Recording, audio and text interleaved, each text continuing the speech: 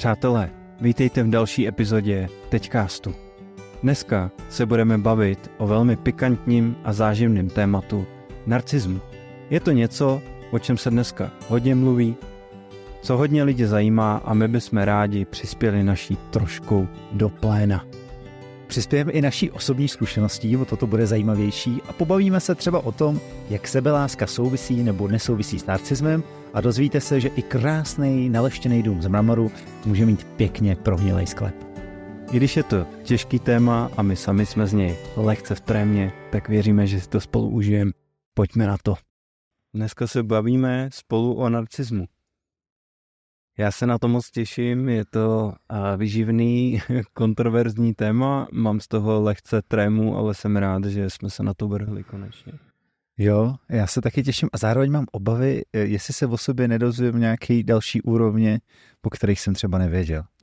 To je dost možný, že se dozvíš, jo, že se já dozvím a je dost možný, že i vy se lecos dozvíte o sobě nebo možná o někom eh, z vašich blízkých, protože narcismus nemusíme pojmout jenom jako takovou tu úplně hardcore, jako psychiatrickou diagnózu někoho, kdo je opravdu škodlivý pro společnost, kdo ostatníma extrémně manipuluje, ale narcismus nebo narcizní prvky nebo aspekty osobnosti jsou i něčím, co mm, je nějak součástí relativně hodně lidí a dělá to neplechu v partnerských stazích, dělá to neplechu v práci, dělá to neplechu i celkově v nějakým udržitelně zdravým a spokojeným životním stylu, takže pojďme si na to spolu posvítit. Já jsem měl připravený i takový vtip, takovou nadsázku, že to uvedu, že vás s tímhle podcastem provedou dva narcisti, ale asi to upravím po tomhle úvodu, že vás tím provedou eh, dva lidi s určitýma prvkama osobnosti, eh, narcistickýma, takže budeme mluvit i ze svojí vlastní zkušenosti, ale i ze zkušenosti třeba se setkání s lidmi, kteří ty prvky měli ještě o něco silnější a o to třeba to bylo šťavnatější. Budeme mluvit i s určitými terapeutické praxe, budeme mluvit i samozřejmě z kazuistik a, na, a oblíbených autorů, který, kteří o tom e, narcismu píší, který se hlavně e, točí kolem psychologie a psychoterapie. A budeme taky samozřejmě plynout s naším flow, inspirace a jsem si jistý, že nás tady něco zase překvapí a že spoustu věcí chcem dneska říct, jsem smířený s tím, že neřeknem a zároveň si myslím, že zase třeba tady padne něco trošku takového jako nového a pro nás zatím třeba ne až tak známého. Jak už to tak v našich podcastech a setkáních bývá. Přesně tak, protože teďka je o tady a teď a takže učený knihy, terapeutická praxe i zkušenost lektorů mindfulness je druhořadá věc. Hlavní věc, ke který my se tady klaníme, je přítomný okamžik. Takže vítejte tady a teď. A moje první otázka zní, Máro, co narcismus není? Jaký jo. jsou třeba mýty ve společnosti o tom, jo, to je narcista, protože dělá to a to, hmm. ale ve skutečnosti to s tím nesouvisí třeba. Jo, to je výborná otázka na úvod.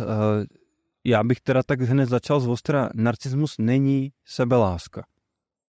My dneska um, spoustu věcí máme přeházených v naší společnosti. Jedna z nich, kterou máme přeházených, je přece se nemůžu chválit. Co pak jsem nějaký narcista? Ani uvnitř. My si, no. nejenom, že se nechválíme, eh, nechválíme se jako navenek, ale my už jsme se tak jako zvykli se nechválit, že se nechválíme už ani uvnitř. Protože to je přece blbý, no, to je narcistní. Samochvála smrdí, se říká. No tak. Já si nemůžu teď užít tady ten můj úspěch, já musím zase makat. Jo, jo, jo. Nem, nemůžu být vlastně jako narcistní. Já nemůžu, uh, já bych neměl až tak moc dbát o moje tělo a můj, o můj fyzický vzhled, nemůžu tady až zase tak se tím zabývat, co když vlastně budu až moc narcisní, jo? Hmm. Tak já uh, podle tady té pokřivené metriky bych narcisní byl hodně a čím dál tím vlastně víc, protože já se učím chválit uh, sám sebe, řekl bych, že už jsem v tom jako pokročilejší, takže to dělám pravidelně a dělám to nahlas a dělám to, už to někdy dělám i před cizíma lidma. A to tak. bych doporučil vám všem, protože to je za mě uh, sebepéče a možná prásknu i na Máru. Že když spolu děláme různé projekty a on tam třeba do nějaké části, kterou nikdo nevidí, dá hodně energie, tak uh, cítí třeba, že to nikdo nevidí a má je schopný si říct, hele, já cítím, že tady to jako nikdo neviděl, vlastně bych potřeboval tu zpětnou vazbu, že to vidíte.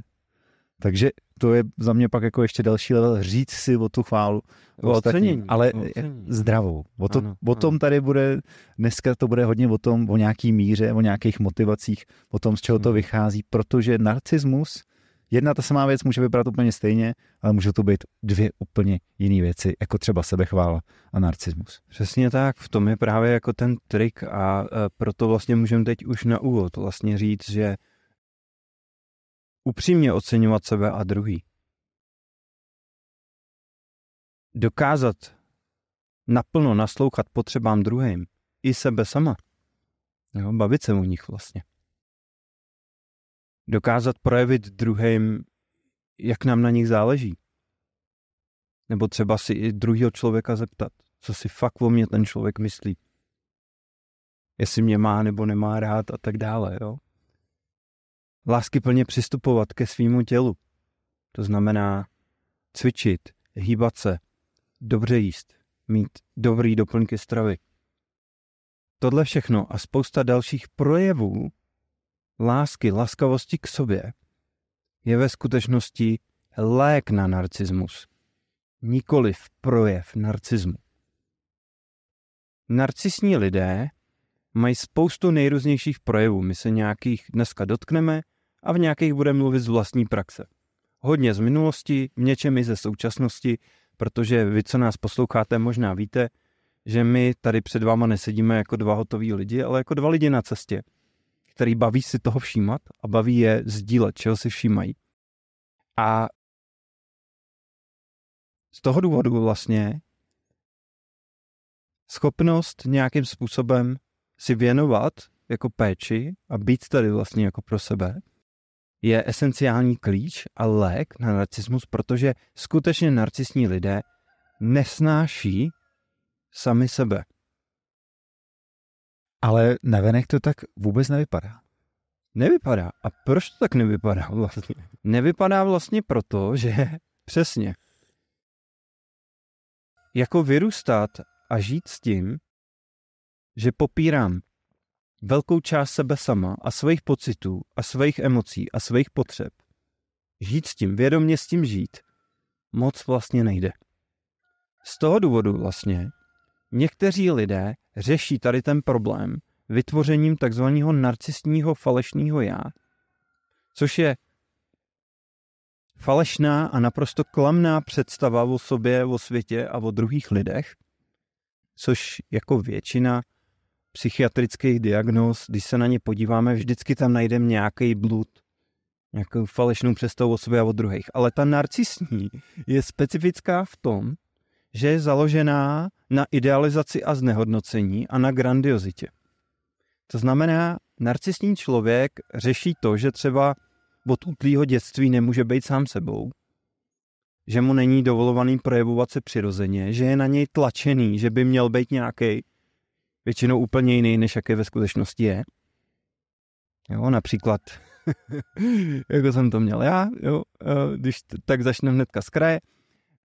Mě hodně baví tancování, to nás baví oba, tak jsme se s kamarádili, jsme spolu dělali street dance a, ma, a měl jsem hodně rád bojové sporty a teď se věnuju sebeobraně.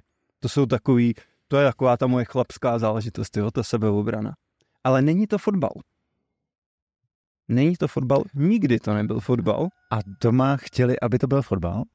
Doma od, od raného věku, kdy já jsem vůbec ještě neměl žádnou představu o sobě ani o světě, neuměl jsem mluvit, uh, nepamatuju si racionálně tady tu dobu, protože jsem neměl ještě rozvinutý tenhle druh paměti, tak už jsem měl přezdívku Barézy po tom slavném fotbalistovi. Já jsem měl Roberto Baggio. No, takže dobrý. No. tak to máme společný, to jsme nevěděli. A když prostě, uh, já mám jednu, jako je to krásná fotka s mintačkou, jo, jak prostě na mě kouká, jako v tom, v tom uh, vlastně dětství, já jsem úplně miminko malinký a on se na mě smě. Je to fakt krásná fotka, ale je tam jedna věc, která mě lehce zamrazila.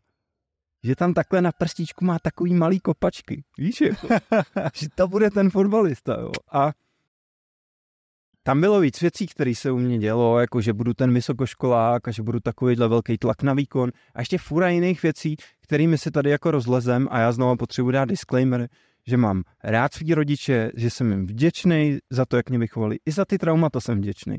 Protože o čem bychom se tady mi teď bavili, víš? Jako, jakmile já, to se mi strašně líbí a e, mám to z podcastu Psycho Bitches, vlastně, který jako doporučuji a doufám, že teď mě tady nevypípá e, YouTube za jediný zprostý slovo v tomhle podcastu. Ale prostě... Zatím jediný zprostý slovo. jo, ale, ale prostě um, oni tam říkají, že prostě že jako jeden z těch základů úspěšné e, psychoterapie je nějak jako postavit svoji minulost do nějakého pozitivního kontextu.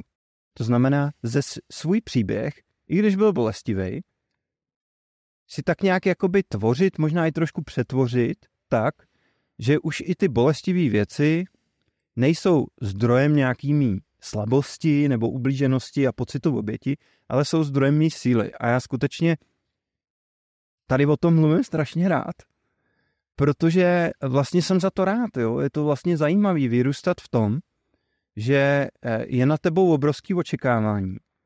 Ty do jisté míry začneš žít strašnou faleš v tom životě. Snažíš se být fotbalista, snažíš se být vysokoškolák. A teď tančíš, jo, na fotbalovém hřišti a nejde, není to ono úplně. Není to, není to úplně ono, jo, přesně.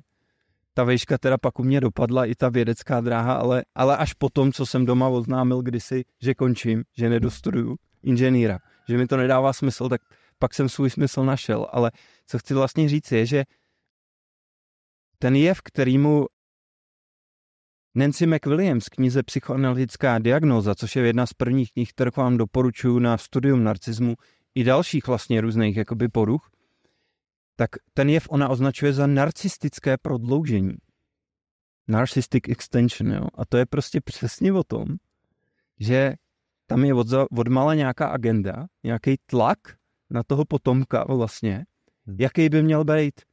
Ale jaký rodič ví, co vyroste z jeho dítěte, víš? Co ty, co ty víš o svý dceři? Co z ní bude, Robe? Já... Hlavní věc, ve kterou doufám, že to bude člověk, který bude za sebe níst svoji zodpovědnost. To je celý a možná i to je velký nárok. Jo, kdo ví? Hmm. Nicméně, eh, já bych řekl, že tam je takový hodně široký pole působnosti jako v jejím životě, jo? A vidím tam velký prostor pro to, že ona může objevit, co jí baví. Ona může objevit, v čem bude dobrá, jo? Ona vlastně může zjistit, jaká bude její kariéra. Třeba bude chtít být výborná pekařka, chápeš?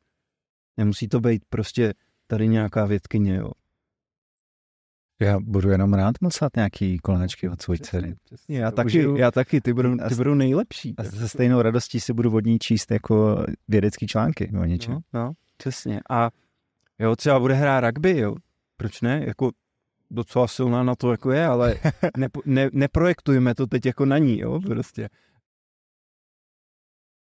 já jako kmotříček, že jo, já jsem měl tu čest být její kmotříček, tak já občas tak jako vidím, jo, že vykrát měl tu kmotřenku bojovnici, jo, a občas si tak všimnu, ježiš, ta je silná, víš, jako, a pak si řeknu, ale co když to bude fakt jako křehká, víš, jako květinka, která, já nevím, prostě bude tamhle plíst a něco, jo, a vůbec to bojovnice nebude, jo. Takže ale co jsem vlastně chtěl říct, abych dokončil jenom tady ten svůj mega dlouhý jako monolog, uh, tak jenom jsem chtěl vlastně říct, že to narcistní prodloužení je jeden z těch prvků, který to tvoří. Jo. Většinou ten rodič někdy má mindrák. Já jsem nemohl studovat, tak ty dostuduješ. No, no, no, no. Tady v Čechách hodně běžný no, no, no. kvůli komunistům. Ano, přesně tak, jo. Čili ten rodič samotnému mu něco chybí, má tam nějakou narušenou sebehodnotu, nějaký neuspokojený potřeby a projektuje si to do toho dítěte a využívá dítě jako nástroj, aby si je naplnil. Někdy dokonce i ten rodič to fakt může myslet dobře, může dělat dobré věci, ale... Skoro vždycky si to omlouvá tím, ale já to myslím dobře. Já chci, abys, byl, abys byla šťastná. No, no. Přitom se nezajímá o to, co tebe baví, ale já chci, abys byl nejlepší fotbalista, abys byl šťastný, ale to by fotbal jedno, ty bys chtěl tančit, že jo, nebo já bojovat. Já fotbalem nebyl šťastný. ani, ani v té škole, ani na tom výběrovém gymnáziu. Eh, ale jsem rád, že jsem to tak nějak jako zvládnul, nechci to teď tak jako soudit, ale co bylo náročné samozřejmě bylo, že jakmile mám já nalajnovaný život podle tabulek, tak je pro mě fakt těžký zjistit, co vlastně chci v tom životě. A někdo se tomu hodně podřídí a stane se tím právníkem, který ho chtěl mít právníka. Někdo jiný udělá prostě jako to, že proti tomu začne revoltovat, tíhnou k různým závislostem, jo, prostě. A, a barví si vlasy, dá si piercingy, potetuje se a uteče z domu. No, skoro jak ty, to barvení a ten piercing, to tam bylo, jo. no a uh, tím jenom, uh, abych dokončil tady tu poslední myšlenku, je vlastně, že tohle je jenom takový taste na začátek, ty určitý masírky a nesvobody, ve který ten člověk žije. A protože samozřejmě ten člověk jako nemůže být sám sebou, tak se s tím nějak musí jako vyrovnat. Většina lidí se s tím nevyrovná, tak je, oni na mě projektují odmala nějaký věci, já úplně nemůžu být sám sebou, ale to je v pořádku, já budu chvíli hrát tu jejich hru a zároveň tady v tomhle tom prostoru si to budu zjišťovat, co chci být. Jo. Většina dětí v tom jako velmi, velmi trpí, velmi jsou v tom zmatený a i z toho důvodu tam vzniknou nějaký obrany a jedna z nich většinou je ta narcisní, což je takzvaná idealizace a znehodnocení, která často pochází i od těch rodičů, že vlastně, když seš ten, já už nechci fotbalista, nechci tady táto dávat čočku, já fakt to za zlý teď vůbec nemám, jo. Když nejseš ten právník, jo, když nejseš ten gymnazista, tak jako nemáš naši lásku a nejseš tady hodnotný člen našeho rodu a když nosíš ty známky a když máš tady ty úspěchy v tomhle, tak seš můj syn, jo, tak seš prostě moje dcera a, a máš tu hodnotu. Takže ten člověk je odmala programovaný v takové idealizaci a znehodnocení a sám pak takhle vidí i ten svůj svět vlastně. A i z toho důvodu, že nemůže být úplně jako sám sebou, ale zároveň má být někým a hodně má být někým, tak se v něm buduje taková ta grandiozita. No a ta grandiozita, ta, ta vlastně pokřivuje takový krásný rčení, který uh, jsem slyšel když si dávno snad v nějaký písničce, nad nikým se nepovyšuj, před nikým se neponižuj. A to je krásný. Ale u narcisty je to jinak. On se povyšuje nad všema a všechny ostatní ponižuje. Jde to tak jako ruku v ruce. To znamená, je tam to grandiozita se projeví v tom, že je tam pocit výjimečnosti. Ale není to jako, že si uvědomuji, že jsem jiný a výjimečný, to je naprosto v pořádku. Všichni jsme jako nějak, nějak specifický, ale je tam ta výjimečnost je v tom, že já jsem něco víc než všichni ostatní. A ostatní jsou něco méně než já. A z toho vyplývá, že ke mně by se ostatní měli chovat líp. Že já bych měl mít nějaké výhody. Já tady nebudu stát, já tady nebudu stát v frontě, můj čas je dražší než váš. Takovýhle jako zvláštní pokřivení ta proto se nespokojím s druhým místem. Já musím být první. Ano, a teďka ještě první a to neznamená jenom nejlepší, ale to taky může znamenat nejhorší. Já jsem největší oběť na světě. Mně se dějou nejhorší věci na světě. I to je vlastně projev narcismu. Jo. A ještě jenom připinknu, eh, k tomu vlastně nepovyšuj, neponižuj, že jsou i takový typy lidí, já jsem to třeba tak u sebe v minulosti vlastně dosměl, že se jako nad většinou lidí povyšují ale pak se tam najde pár lidí, většinou ty, kteří třeba připomínají toho rodiče z minulosti. Že ten rodič, když je člověk dospělý, už nemá tu moc. On tě neživí, ty už jako se osvobodil od jeho názorů a tak, do nějaký míry, i když třeba ne na nějaký hlubší úrovni. Takže přijde někdo jako třeba tvůj šéf v práci, víš?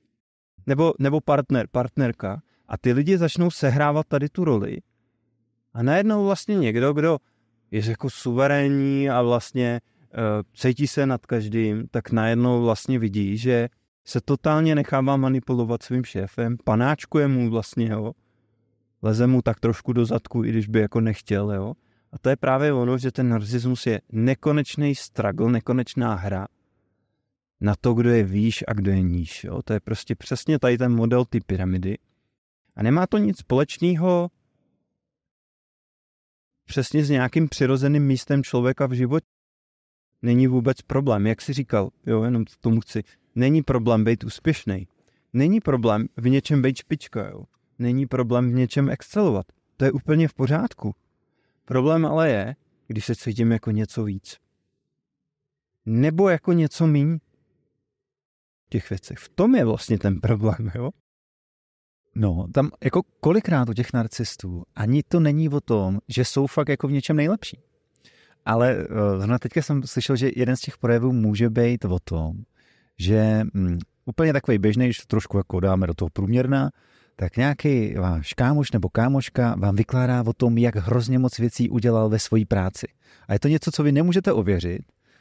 Pravděpodobně to v té práci nevykládá, ale vám se prezentuje, jak je úplně nejlepší pracant, jak, je, jak, tam to všech, jak by se to tam bez něj celý, celý zbortilo. A vlastně sám sobě si to do značné míry nalhává.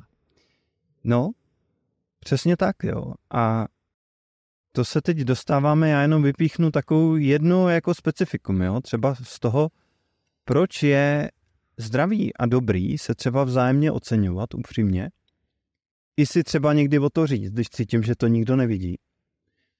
Protože i pro člověka, který cítí, že je narcisní nějakým způsobem, takhle, kdo je totálně narcisní, se na tohle nedívá. A nebo se na to dívá, ale ne, nebude si vůbec myslet, jako, že by mohl být, jo. Ale kdo je tak nějak jako, že trošku, že cítím, jo, že tam nějaký ty prvky jsou. Že mám trochu zavirovaný počítač, že mi to trochu komplikuje život, jo, že furt narážím třeba v partnerských stazích nebo v práci a tak, tak to, tak pro někoho takového, pro někoho takového z vás to vlastně může být teďka uh, zajímavý. No a k čemu jsem se chtěl jenom dostat, je vlastně, jak je to s tím oceněním, jo, že my můžeme ty narcisní prvky rozpouštět právě tou laskavostí a tou láskou, i v té běžné každodenní akci. Nemusí to být vždycky hluboká terapeutická práce, byť na to věřím, že se dneska taky podíváme, že se podíváme i na to, jak se třeba vyhnout manipulacím, když nám zbyde, eh, když, když nám zbyde čas a bude flow. Ale i právě třeba to, že já cítím, že jsem nedoceněný, jo, že nikdo nevidí, co dělám vlastně v tom kolektivu, tak není někdy nic špatného na tom se prostě otevřít a říct druhým, hele, já se prostě teď cítím nedoceněný takový a dělal jsem tady prostě tady ty věci a, a prostě potřeboval bych od vás nějakou zpětnou vazbu a třeba ocenění, když někdo z vás jako to fakt bude třeba cítit, že mi to jako může dát, jo. A světe divce, že jo, znáš to, jak to funguje mezi náma, že si to vždycky dáme, dáme si to hezky a najednou já se cítím takový uvolněný a cítím se, že jsme takový jako propojený vlastně, že se vidíme, že si sebe vážíme a nikdy mi to vůbec nepřišlo narcisní. Ale co narcisní je, je přesně to, že já se stydím za to, že jsem nedoceněný. Já si žiju ten svůj prostě životní příběh, že furt dělám pro všechny strašně moc a nikdo to neocení a podobně. A samozřejmě nemám odvahu na to přijít a druhým to třeba říct. Třeba i druhým říct, že trošku mám pochromanou sebehodnotu a že jako víš, jakože... že trošku vidíte na, na to světlo s tím, jak se cítím. No, no, no. S tím no, no. svým nitrem. Ale fakt člověk, který je tím hodně ovládaný tím vzorcem, to nikdy neudělá. A ostatní bude manipulovávat do toho, aby ho nějak validovali. Jo. To znamená, já namísto toho, co bych takhle jednoduše řekl, cítím se nedoceněný, jo, a, a prostě eh, pojď, můžeme s tím něco dělat, můžeme se o tom pobavit, jo, tak, tak ten člověk prostě jako začne tak jako manipulativně podsouvat něco ve stylu a včera jsem tu byl 8 hodin a dotáhl jsem tady ty věci a ještě jsem je udělal nad rámec. Jo a ještě jsem udělal tam to prostě, jo, a furt tak jako manipulovávám ty druhý do toho, přebomby, jakoby bombím do nich, co všechno jako dělám, aby opravdu někdo pak jako už, už teda jako mi řekl, hej, ty to tolik děláš, to je tak dobrý, to je tak vlastně skvělý. Jako. Což se možná vlastně nikdy nestane. no. Tak, jak bych já si to přál, když, no. když to dělám. Takže furt jsem tam vlastně v nějakém utrpení a stupňuju furt nějakou intenzitu a zároveň se mi stupňuje nějaký uh, pocit nedoceněnosti a toho, že to, že to není ono, nenasycenosti. No a ten se v některých lidech může ještě prohlubovat dál. Já ještě možná do toho jenom přihodím jeden no. příklad uh, toho, co jsi říkal. Mně se stalo, že jsem moderoval jeden ples a bylo to fakt bomba. Fakt jsem podal jako úplně to všechno sedlo. Teď jsem tam byl po tom plese s tou třídou a s tou učitelkou a přesně tam byla moje narcisní já, který tam začalo. Tak nebylo to špatný, ne? A vlastně jsem takhle do nich šťouchal. Šťouchal. Tak snad, snad takový to, no, tak snad, snad uh, jako vlastně jsem si tak jako ponižoval, aby oni mě zvedli. A nikdo mě nezvedl. Jo, jo, to, je, to je boží, hej, to je boží příklad tohle. Jo, jo, to jo, je úplně tak... jsem tam jako tak, tam nebylo moc chyb, víš. Já jsem úplně jeden z nejlepších plesů, co jsem ten, mhm. ten rok moderoval. Úplně jsem, a cítil jsem, že nikdo tam nepřišel a neřekl, Robe, a já jsem si o to neřekl. A hmm. přesně takhle trapně hmm. jsem tam jel nějaký úplný haluze a přesně mě na to nikdo neskočil. Jo, jo. A já jsem pak ještě jako s tou dírou jsem říkal, ty bogo, nikdo mě neucítil. Jo, jo, jo. To je krásný příklad a můžeme tady občas i tak přihodit nějaký ty věci od těch lidí, kteří jsou jako jakože extrémně narcisní, jakože víc, že jsou tím takzvaně jako ovládaný až těma vzorcema. To jsou ty lidi, o kterých bychom mohli říct, že jsou třeba klinicky narcisní. A ty lidi poznáte podle toho, že neustále dávají druhým lidem najevo, jak oni jsou chytřejší, výkonnější, schopnější, vytrvalejší, zodpovědnější, jo, whatever. A někdy i tím, že ty druhý lidi ponižují, že je tak jako trošičku stírají, jo, úřady politiků to můžeme vidět, zvlášť mě teď napadá jeden, který ho tady nebudu jmenovat, ale ten prostě v každý větě někoho setře vlastně. V každý větě ukáže, jak jeho intelekt je superiorní vlastně, jo v každé větě řekne, v čem vlastně on je lepší a nejlepší a jakmile vidíte, že někdo se až takhle jako nafukuje, že ta grandiozita, že je infikovaná v podstatě každá věta toho člověka, tak tady pak můžete vidět, že ten člověk dá se říct, i když všichni jsme jako individuální nějak a specifický, tak vlastně skutečně jako je tou diagnózou, jakože žije tu diagnózu vlastně. Jo? A samozřejmě, že tak, u takového člověka, on může být třeba vtipný a zábavný chvíli. Může být i velmi schopný. Může být i velmi schopný, ale dlouhodobě je to extrémně nepříjemný společník a nedá se s ním vlastně budovat nějaký přátelský a nějaký vlastně udržitelný vztah, protože on je tak zabetonovaný, on je tak skovaný za tady tou obranou, že furt, furt se nafukuje vlastně, furt, furt, furt jakoby uh, se vyděluje od druhých že vlastně není schopný nějaký kvalitní vztahy vůbec vlastně navazovat. No, nikdy si vás vlastně nepustí na tu stejnou úroveň, protože vždycky bude potřebovat ukázat, že vy jste o něco méně a on je o něco víc. On je důležitější, chytřejší, schopnější, lepší hmm. a proto nemůžete stát vedle něj. Přesně tak. A teď bychom možná se mohli podívat na to, proč to vzniká, jo? nebo kde se to bere.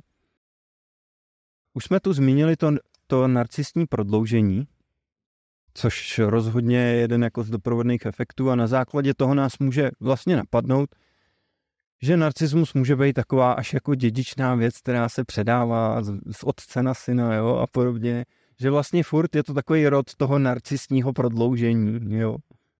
Ten rod těch právníků, jo, těch rod, rod těch doktorů a podobně. A možná, že za starých časů to bylo tak v pořádku, že se tak žilo, my už jsme to zmiňovali na minulých epizodách, ale um, možná, že v současné době opravdu, že jo, nebo určitě už, už jako všichni sem přicházíme proto, aby jsme nějak realizovali sami sebe. Hmm, už jo, není potřeba celý naší široký rodiny, aby jsme přežili. Tím pádem my už můžeme, máme šanci se víc projevit a jít ve svých vlastních šlépějích. No. Nebo vyšlapat si svoji vlastní cestičku, což v minulosti nebylo moc možný. Nebylo to moc možný, přesně. Proto i tam a lidi neuměli, jak se říká, jak to třeba popisuje Rudolf Steiner, neuměli být takovýma individualitama vlastně, jo. Že proto to byla ta rodina, která rozhodovala o jednotlivci. Proto to byly instituce, které tenkrát pro lidi byly posvátný, dneska už pro nás tolik posvátný nejsou. A e, dneska tu stojíme před tím být nějaký zdravý a rozvinutý individuality. A takže z toho důvodu tady to prodloužení už je pro nás spíš překážka, která se ale kombinuje ještě s jednou věcí. A to s tou samou, kterou jsem teď zmínil. Že žijem ve světě, který je hyperindividualizovaný. A že žijem prostě ve světě, který dneska v podstatě každému člověku otevírá neomezené možnosti. Svět, který je hodně založený na pozornosti, hodně založený na influencerství jako jednotlivců.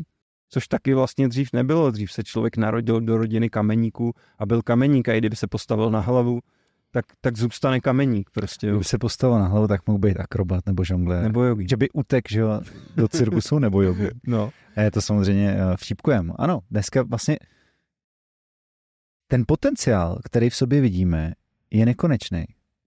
A je to vidět, protože vedle lidi, sousedi, známí nebo působnosti na internetu víme, že oni se narodili jako lidi kameníků a teď mají miliony sledujících, vydělávají miliony, jezdí v drahých autech, hmm. mají velký domy, krásné ženy, modelky a si říkáme, tak to, to chci taky.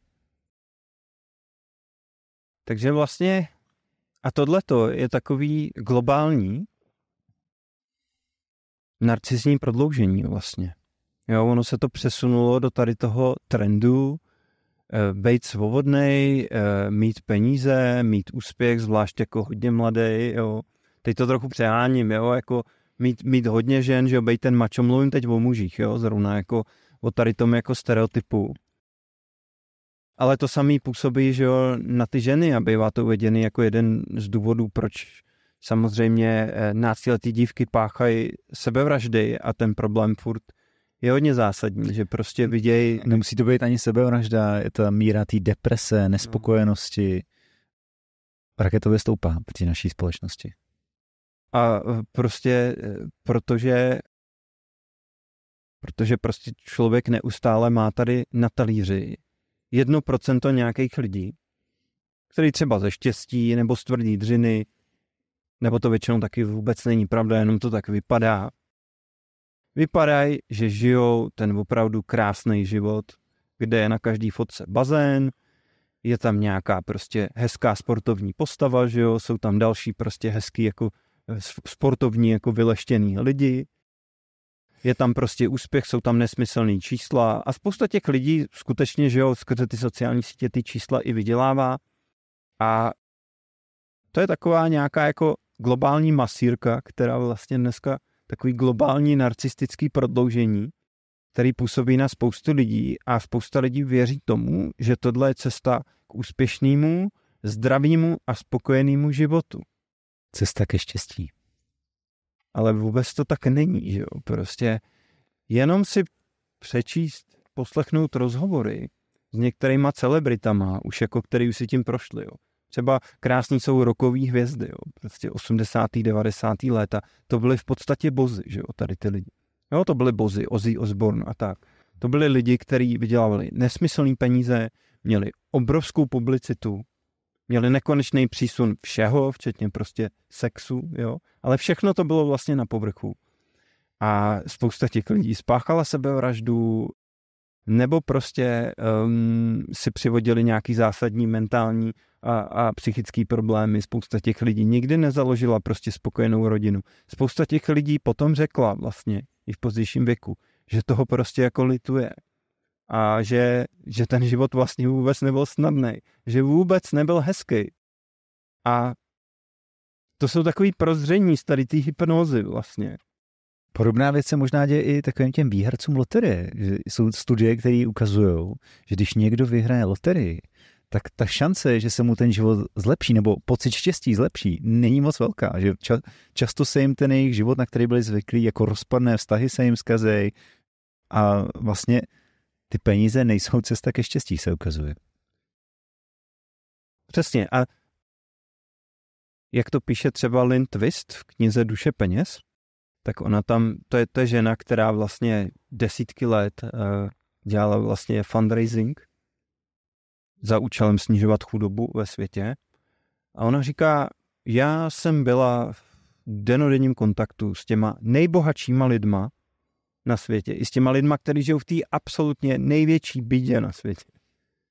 Na obou dvou stranách té škály jsem našla chudobu. Ty chudí lidi nemají nic a jenom jsou frustrovaní a jenom, jenom vlastně se perou v okorito a jenom vlastně některý snějí o tom, že by to jednou mohlo být jinak. A ty bohatý lidi mají všechno, ale jsou toho zároveň otroci. Že to jsou vlastně celé rodiny, které se bojí o majetky, celý rodiny, kde ten člověk nemá vůbec žádnou svobodu, je v extrémním strachu aby udržel majetek té rodiny, aby ho vlastně nepromrhal a podobně. A spousta těch lidí vlastně šťastných jako není. Čili i s těma penězma se zase dostáváme k tomu stejnému principu, jo? že pokud já prostě jenom ty peníze mám a užívám je, jako jo, my tady nejsme nějaký milionáři, aby jsme mohli dávat moudrek, pracovat s velkýma majetkama, to, to je na jiných podcastech, ale jakoby já nějak věřím jako tomu, že a i tak mě to zatím jako funguje, že když prostě beru peníze jako součást svého života, jako výměnu, víš, jako nějaký energie, formu, jak jsem oceněný, jak oceňuju druhý, ale prostě eh, nemám na nich vystavenou svoji hodnotu. Musím třeba říct, že jsem měl v období, kdy jsem se dostal do nějakých finančních potíží před pár lety z různých důvodů, jo, že mi zrovna skončila jedna práce, zrovna jsem moc neměl individuální klienty, ještě jsem něco špatně zainvestoval do kryptoměn a tak dále a tak dále. Prostě jsem se nějak jako poučil, tak jsem prostě živořil strašnou dobu a vlastně jsem jakoby viděl, v jakým žiju každodenním strachu, jo. Jakým žiju vlastně strachu, jak se cítím jak nula vlastně. Protože tenkrát jsem ještě jako měl rodinu, kde jsem byl i v roli nevlastního otce, to mi nedopadlo. Čehož jsem byl hodně smutný, ale vlastně zároveň jako by jsem za to rád dneska, protože zase se mi otevřel nějaký další jako životní horizont, ale prostě tenkrát jsem se chtěl postarat, že jo, a neměl jsem ty peníze, tak jsem se cítil jak úplná nula vlastně, jo. Každý den se mi připomínal, jaká jsem nula. Že vlastně nemám peníze a tady chci budovat jako rodinu, jo, a cítil jsem se v takovém strachu a v takovém jako sevření vlastně, víš? Hmm. A a zároveň jsem to pozoroval, i jsem tenkrát četl tuhle knížku, že vlastně jak moc ta moje hodnota a tam, ten můj sebeobraz je spojený s tím, jestli mám nějaký peníze na účtě nebo ne. A vlastně jsem si na tom dně uvědomoval, že já tu hodnotu můžu mít tady a teď, tím, že jsem hodnotný, prostě tady a teď, já se přece můžu mít teď rád, jo. Já teď můžu být dost. Já teď přece můžu být plnohodnotný člověk. A tak nějak jsem se od toho dna tenkrát odrazil, víš, v tomhle. A to mně přijde, že bylo takový moje určitý malý osvobození od těch peněz. A přijde mi, že i díky tomu dneska, když jsem na tom finančně výrazně líp a jsem vlastně teď dost spokojený, musím říct, se svojí finanční situací, tak dneska se v tom cítím takový jako svobodný, víš, že jakoby tím, jak i těch peněz je víc, tak se nebojím, že o ně přijdu. Jen přijde, že znám i dost lidí, kteří jak hromadí peníze, oni hromadí, hromadí, ale oni nemají méně toho strachu. Oni se furt stejně vlastně jakoby bojí a furt mají pocit, že nemají dost, že ještě nemám tohle, nemám tamto. No jasně, protože jakmile si koupíš uh, tohle auto, tak za rok vyjde nový. Někdo na planetě, na Instagramu už má lepší. A ty vždycky vidíš, co všechno můžeš mít, no. Jako to je ten obraz to je jako ta nevýhoda těch sítí, které nás propojují s celou planetou, že vždycky vidíme někoho, kdo je hezčí, silnější, rychlejší, chytřejší, úspěšnější, vydělává víc. A může to v nás vyvolávat ten pocit, když to, když to srovnáváme, hmm. může to v nás vyvolávat pocit, že my vlastně za nic nestojíme. Pokud máme tady ten narcisní prvek, tak to tak je.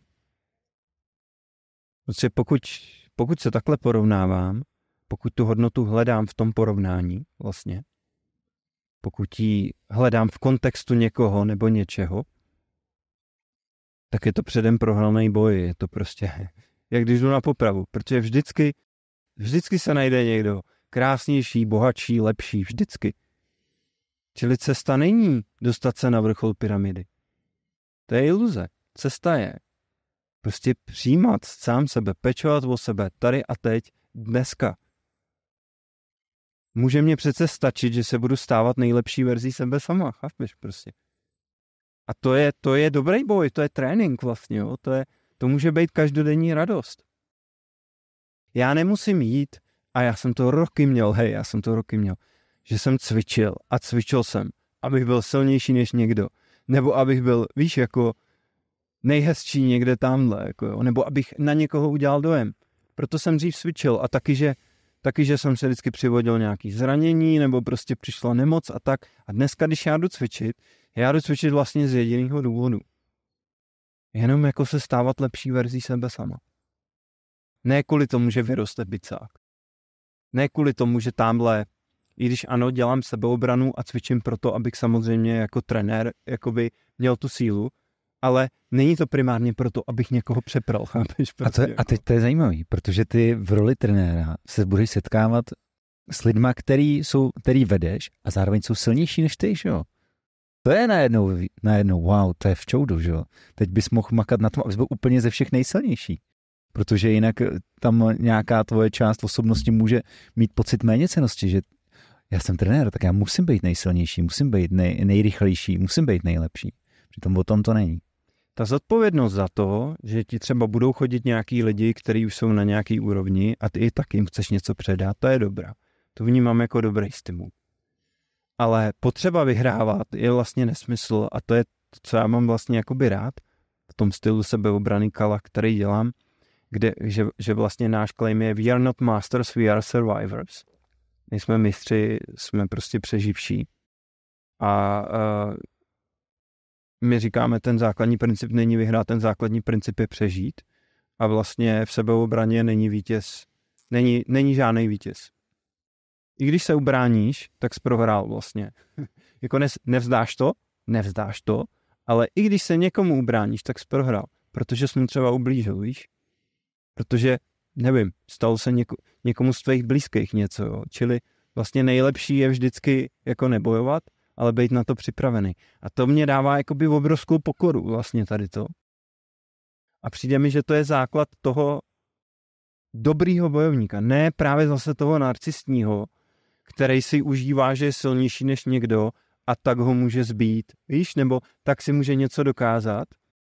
A takových lidí je spousta a dneska je bohužel mezi některýma sportovcema takový lidi vidíme, což mě vždycky hrozně jako mrzí, ale prostě ten náš princip je, že there is no winner. Jako. Tady nikdo v sebeobraně nikdo nevyhrává.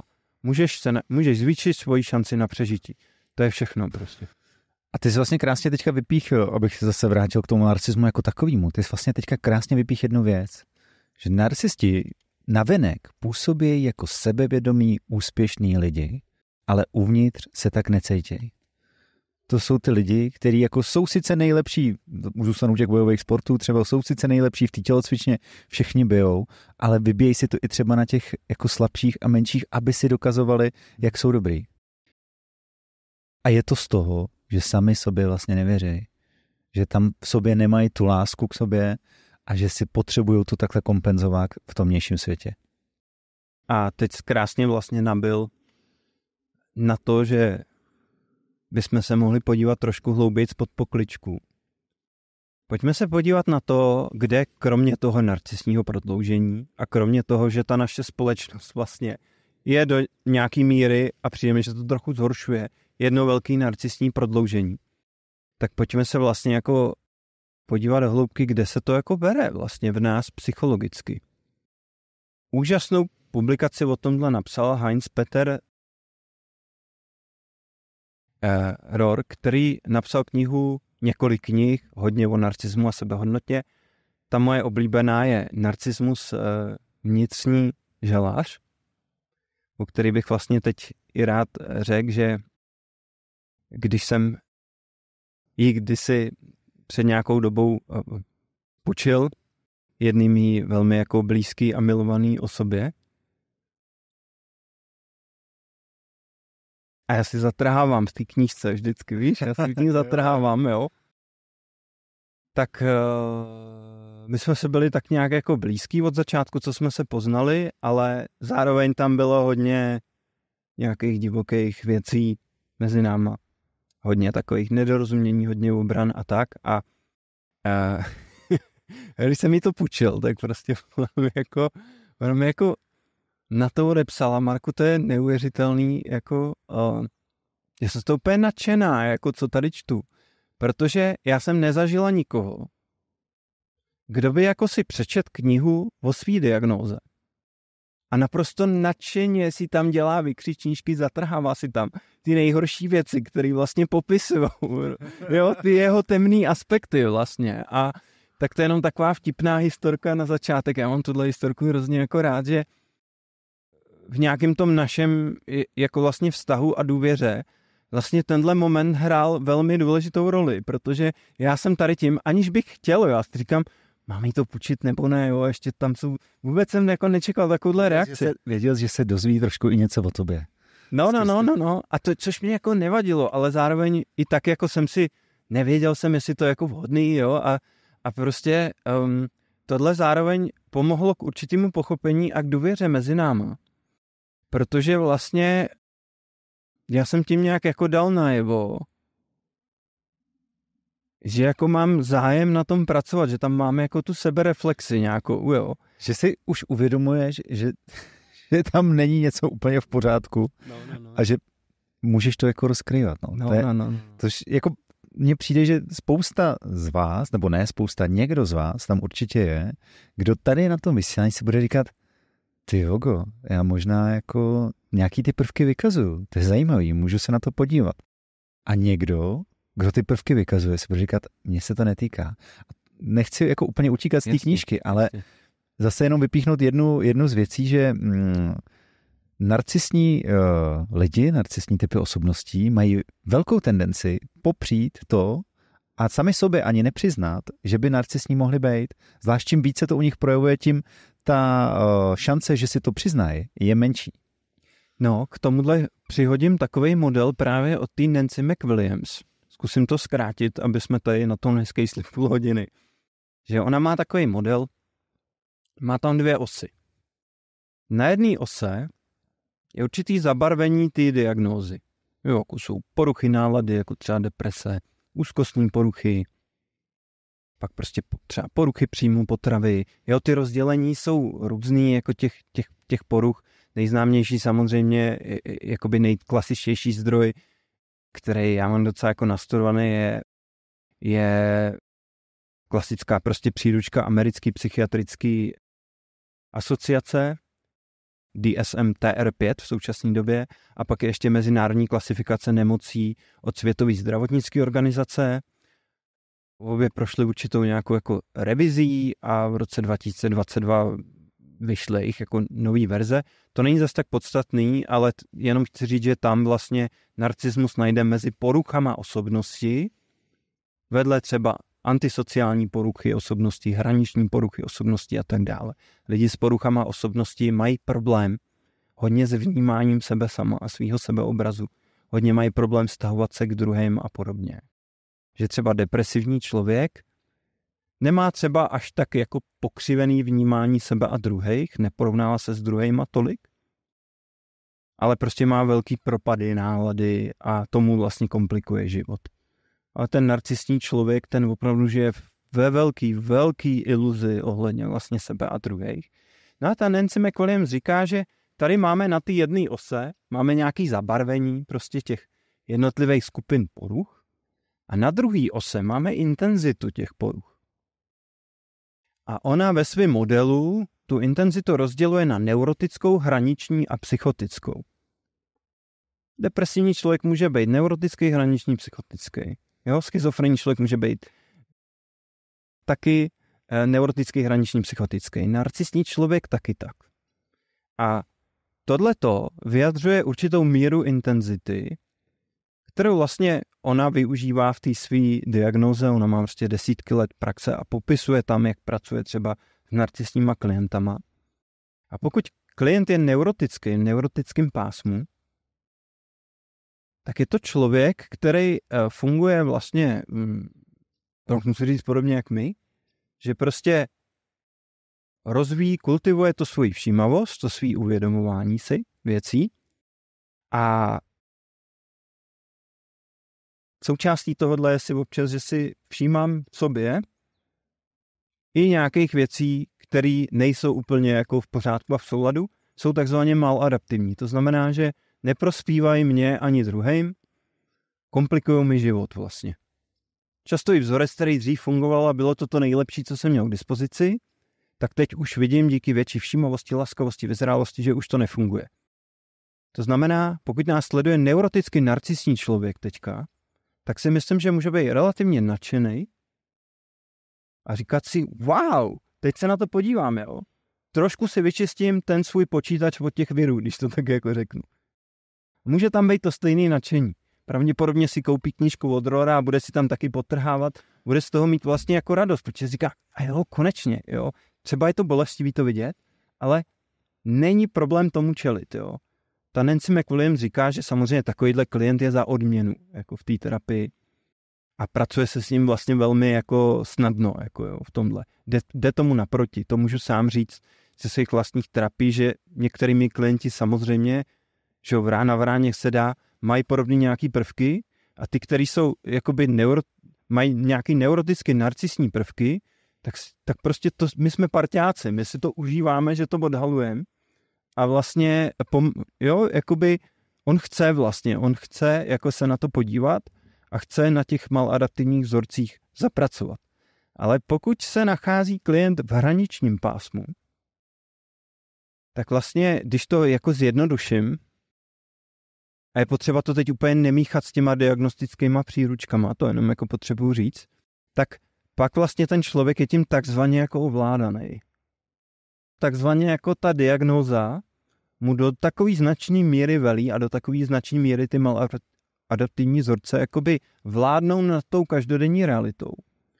Že ten člověk se tomu za každou cenu brání a jde do terapie s tím, že třeba opustila mě manželka, nebo mám tady problém prostě spát a podobně. Pojďte mi říct, co je na ní špatně.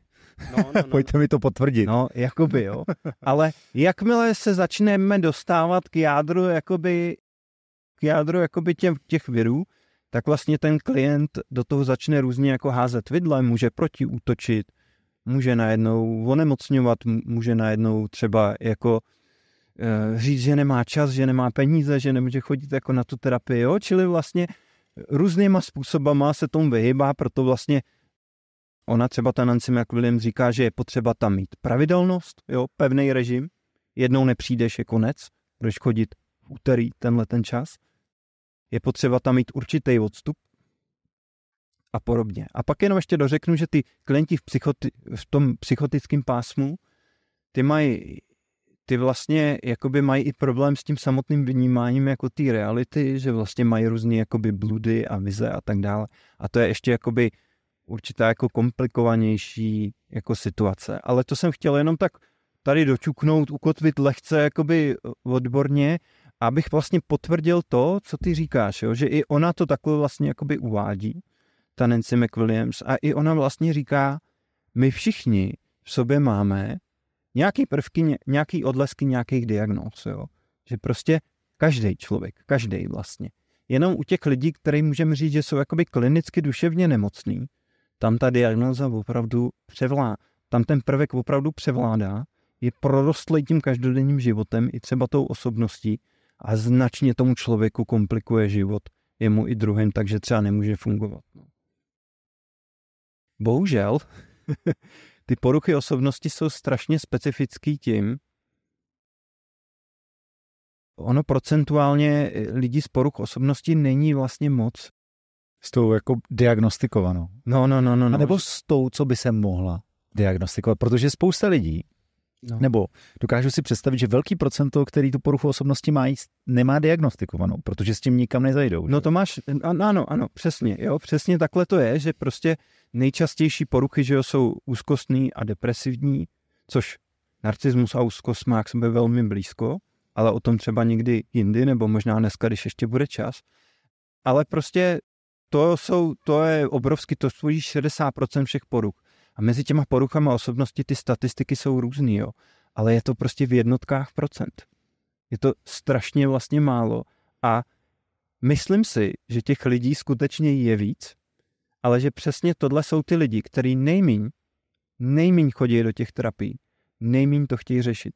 Přitom lidi s antisociální poruchou osobnosti, což je taková bratrská porucha s tou narcisní, tvoří zdaleka největší populaci prostě ve vězení. Jedna studie z USA už je starší, ale byla dělána prostě desítky tisíc jako lidí, tak prostě ta studie e, zmapovala, že i když ty e, lidi s, s tou antisociální poruchou osobnosti běžné populace byly 3%, ve vězení 50%. Můžeš jenom ještě popsat, co ta antisociální porucha je? Jo. Její takové jakoby slangově, ono, ono už to v těch příručkách není dneska, jo, ale ten její extrémní projev je psychopatie. Je to prostě člověk, který neuzdává základní společenský pravidla, který má obvykle velmi sníženou nebo nulovou empatii. Um, je to, to, tady ta porucha je nejvíc vzdálená lidství. Proto tady ty lidi nejvíc páchají vlastně kriminální trestní činy. Jo, násilí, vraždy, krádeže a podobně. Nemají vlastně záklopku, je to nejvíc vzdálený nějakému synergickému lidskému vlastně spolubytí. Někdy si třeba můžeme natočit i díl o psychopatech, může to být jako zajímavý. Měli bychom si sem asi pozvat nějakého hosta, který to víc řešil, ale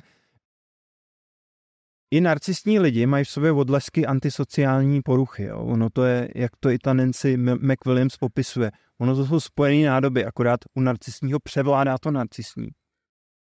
Ale obecně antisociální porucha osobnosti a psychopatie se vyznačuje značně zamrzlým a značně chudým citovým životem a sociálním, který je kompenzovaný, to je jeden z modelů, který to jako vysvětluje, který je kompenzovaný slastí pomoci. Ty lidi, jak to málo cítějí, tak chtějí ukájet svoji moc, aby něco cítili vlastně. Takže vlastně se dostávají, snaží se dostávat do pozicí, kde mají moc, kde můžou rozhodovat o lidech třeba v manažerských pozicích. Nebo aspoň v politice třeba. Nebo aspoň tejrat, přesně, nebo aspoň tejrat nějaký zvíře na zánu. Je to hrozný, že to teď říkám, jo, ale spousta lidí takhle funguje. Prostě ten člověk je spořádný všechno, ale pak prostě ubližuje svýmu zvířátku, jo. Nebo svý partnerce, nebo prostě svým dětem. Nebo e, vytváří prostě počítačové viry na počítači a, a má radost toho, že někomu zavirovává počítač, jo. Nebo prostě krade a okrádá lidi, zvlášť e, obyčejní lidi prostě, jo. A takže to jsou takový spojený nádoby a narcistní lidi, řadu z nich najdem v těch mocenských pozicích, řadu antisociálních lidí taky najdeme v těch mocenských pozicích. Rozdíl mezi nimi je v tom, že narcistní člověk primárně touží po uznání a touží potom jako se vidět jako víc. A ten psychopatický primárně touží potom mít tu moc vlastně. Hmm. Mít tu nadvládu vlastně. To je ta slast, tomu dává tu slast. Proto mají rádi peníze, narcistní, protože ty peníze mi dávají pocit, že jsem víc, psychopatický, protože ty peníze mi dávají moc. Je tam brnkla ještě jedna věc a ty říkal, že ty antisociální uh, nemají empatii a zároveň já, klidně mě oprav, já myslím, že uh, často ty narcisti empatii je, jsou schopní a jsou v ní velmi dobrý, jenom to jako nezapínají často, nebo to nepoužívají. Mhm. Tohle je výborná jako otázka, já jsem si to chystal nakonec, ale můžu to zmínit už teď, když to flow tím jede. Existuje speciální druh narcisních lidí, říká se mu dark empath, respektive takhle. Je jedna typologie, který se říká temná trojce. Je to narcismus, psychopatie a machiavelismus. A je to typologie, to znamená, nemůžu říct, že když někomu dám tady ten test a on tam skoruje vysoko na narcismu, tak má narcisní poruchu osobnosti. To rozhodně ne. Jo, zvlášť někoho označit, my tu dneska uvádíme nějaký příklady, ale někoho označit, že má tady tu klinickou poruchu vyžaduje skutečně dlouhodobou diagnózu s odborníkem. My to pro zjednodušení, aby jsme furt nemuseli říkat sousloví lidi, kteří mají narcistní tak, prvky osobnosti, tak. tak eh, to občas zjednodušujeme na to na, na narcisti. Tak. Dneska se strašně háže s pojmem to je psychopat, jo, to je narcis, strašně to lidi dělají. I mě to vždycky rve za uši trošku, protože jakoby eh, vím, že jednak to vůbec nemusí být pravda, Druhá to může být hodně zraňující někdy pro ty lidi, kterým to jako říkáme, jo, a prostě je dobrý být trochu opatrný jako by s tím letím pojmem zároveň, ale tady ta typologie temné trojice, na ní, když někdo skóruje, tak samozřejmě je to test, jo, a ten test vždy, vždycky ovlivňuje, jakou mám náladu, když to vyplňuju, jo. Vůbec zase ten člověk, který jako je tím extrémně chycený, tak samozřejmě nebude odpovídat tak, aby to tak dopadlo. Spousta těch lidí to ví, jo? čili berme to s rezervou, ale... Pro mě asi znáte i když tohle jsou mnohem komplikovanější a komplexnější testy, tak asi eh, pokud jste zažili bravíčko ve vaší pubertě, tak víte, že pokud chcete být vášnivá, tak víte, že musíte eh, dávat Bčka, protože to nakonec povede k tomu, že budete označení jako vášnivá rebelka a když budete chtít být klidná intelektuálka, tak budete zaškrtávat odpovědi, kde je napsáno, že čtete hodně eh, vzdělávacích knih. Takže i, i tyhle komplexní testy se dají nějak ovlivňovat a přesně jak jsme si říkali uh, předtím, ten jako echt člověk, co má hodně narcistních, narcistních prvků osobnosti, tak si to nepřizná. On neví, že to dělá. A on ani kolikrát neví, proč to dělá. On jako nemusí cítit tu svoji nedoceněnost. Jenom prostě má nějaký nutkání hmm. furt po ostatních, aby ho uznali, furt do nich šťouchat, ale vlastně si nesedne, řekne si, ty jogo, já jsem dneska nějaký nenaplněný, asi si to tady někde někoho zmanipuluju, aby mi to dodal. To je na trošku jiný, jiný, jiný úrovni to probíhá. Přesně tak, jakoby je to takový velká obrana sám před sebou a předtím vidět svoje strádání, jak se na to za chvíli podíváme. Jenom řeknu k té temné trojci, že tady ta typologie je velmi uznávaná, je velmi zajímavá, je kolem ní spousta výzkumů, doporučuji se na to podívat. A ta, ta vlastně říká, že psychopatičtí lidi se vyznačují tím, že nemají zábrany, nerespektují společenský pravidla, je jim jedno, když někomu ubližují, když někdo tím jako trpí a jsou emočně plochý. Machiavelistický lidi, tam je takový základ, ještě jeden jako prvek se vyznačují tím, že věří tomu, že svět je špatný a zlý místo. Čili ty jsou jakoby víc takový, můžeme říct, schizoidní v něčem, nebo paranoidní. Tak oni prostě věří, že svět je špatný místo a že já musím být silnější, abych v něm přežil, že je výhodnější udeřit první, než udeřit druhé, jo? Čili je tam takovýhle ten, jako musím být ta největší šelma v revíru vlastně. Jasně. A dá se vlastně říct, že ten, ten klinický psychopat, ten má vlastně oba tady ty prvky jako většinou, nebo ten klinicky diagnostikovaný jako paranoidní člověk bude mít machiavelistický tendence a podobně.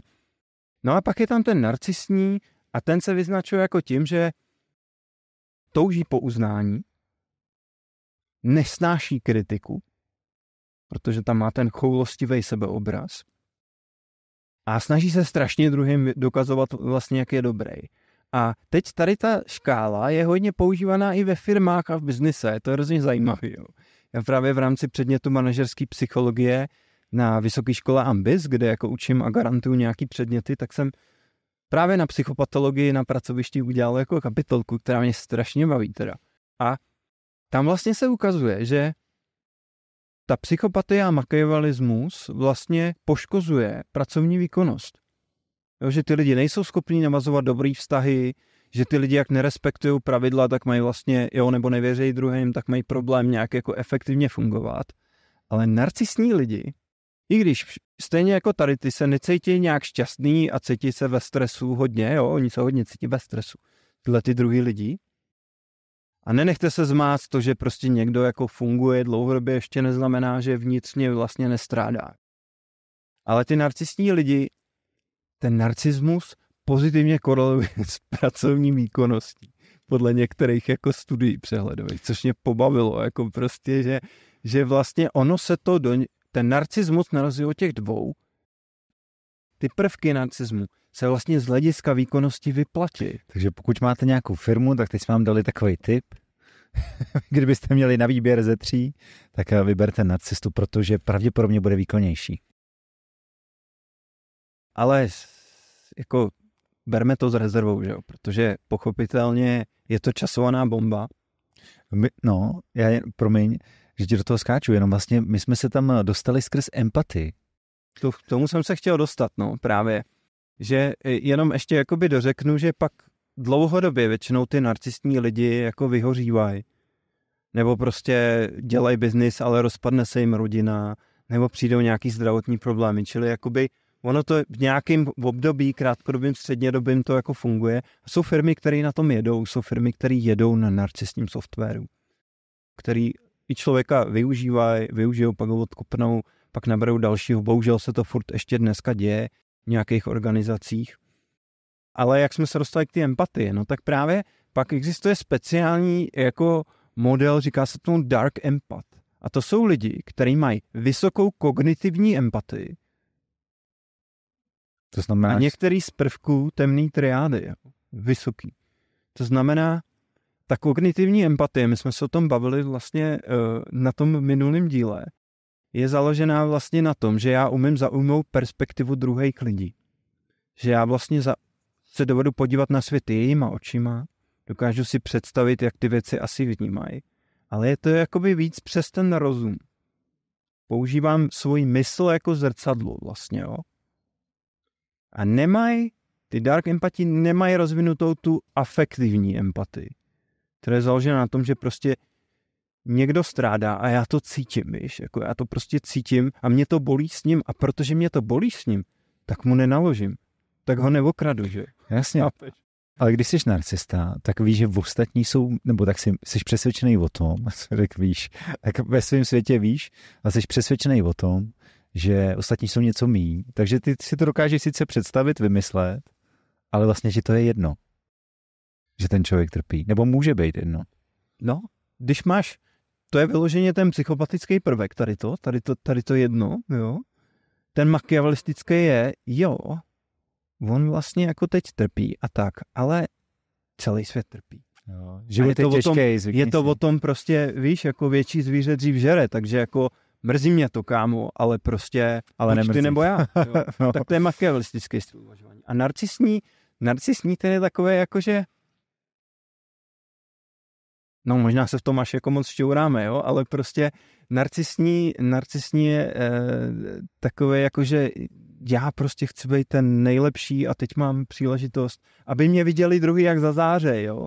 Teď, teď můžu zazářit já vlastně, jo. Teď jako já dostanu tu lásku, jakoby tu pseudolásku, no.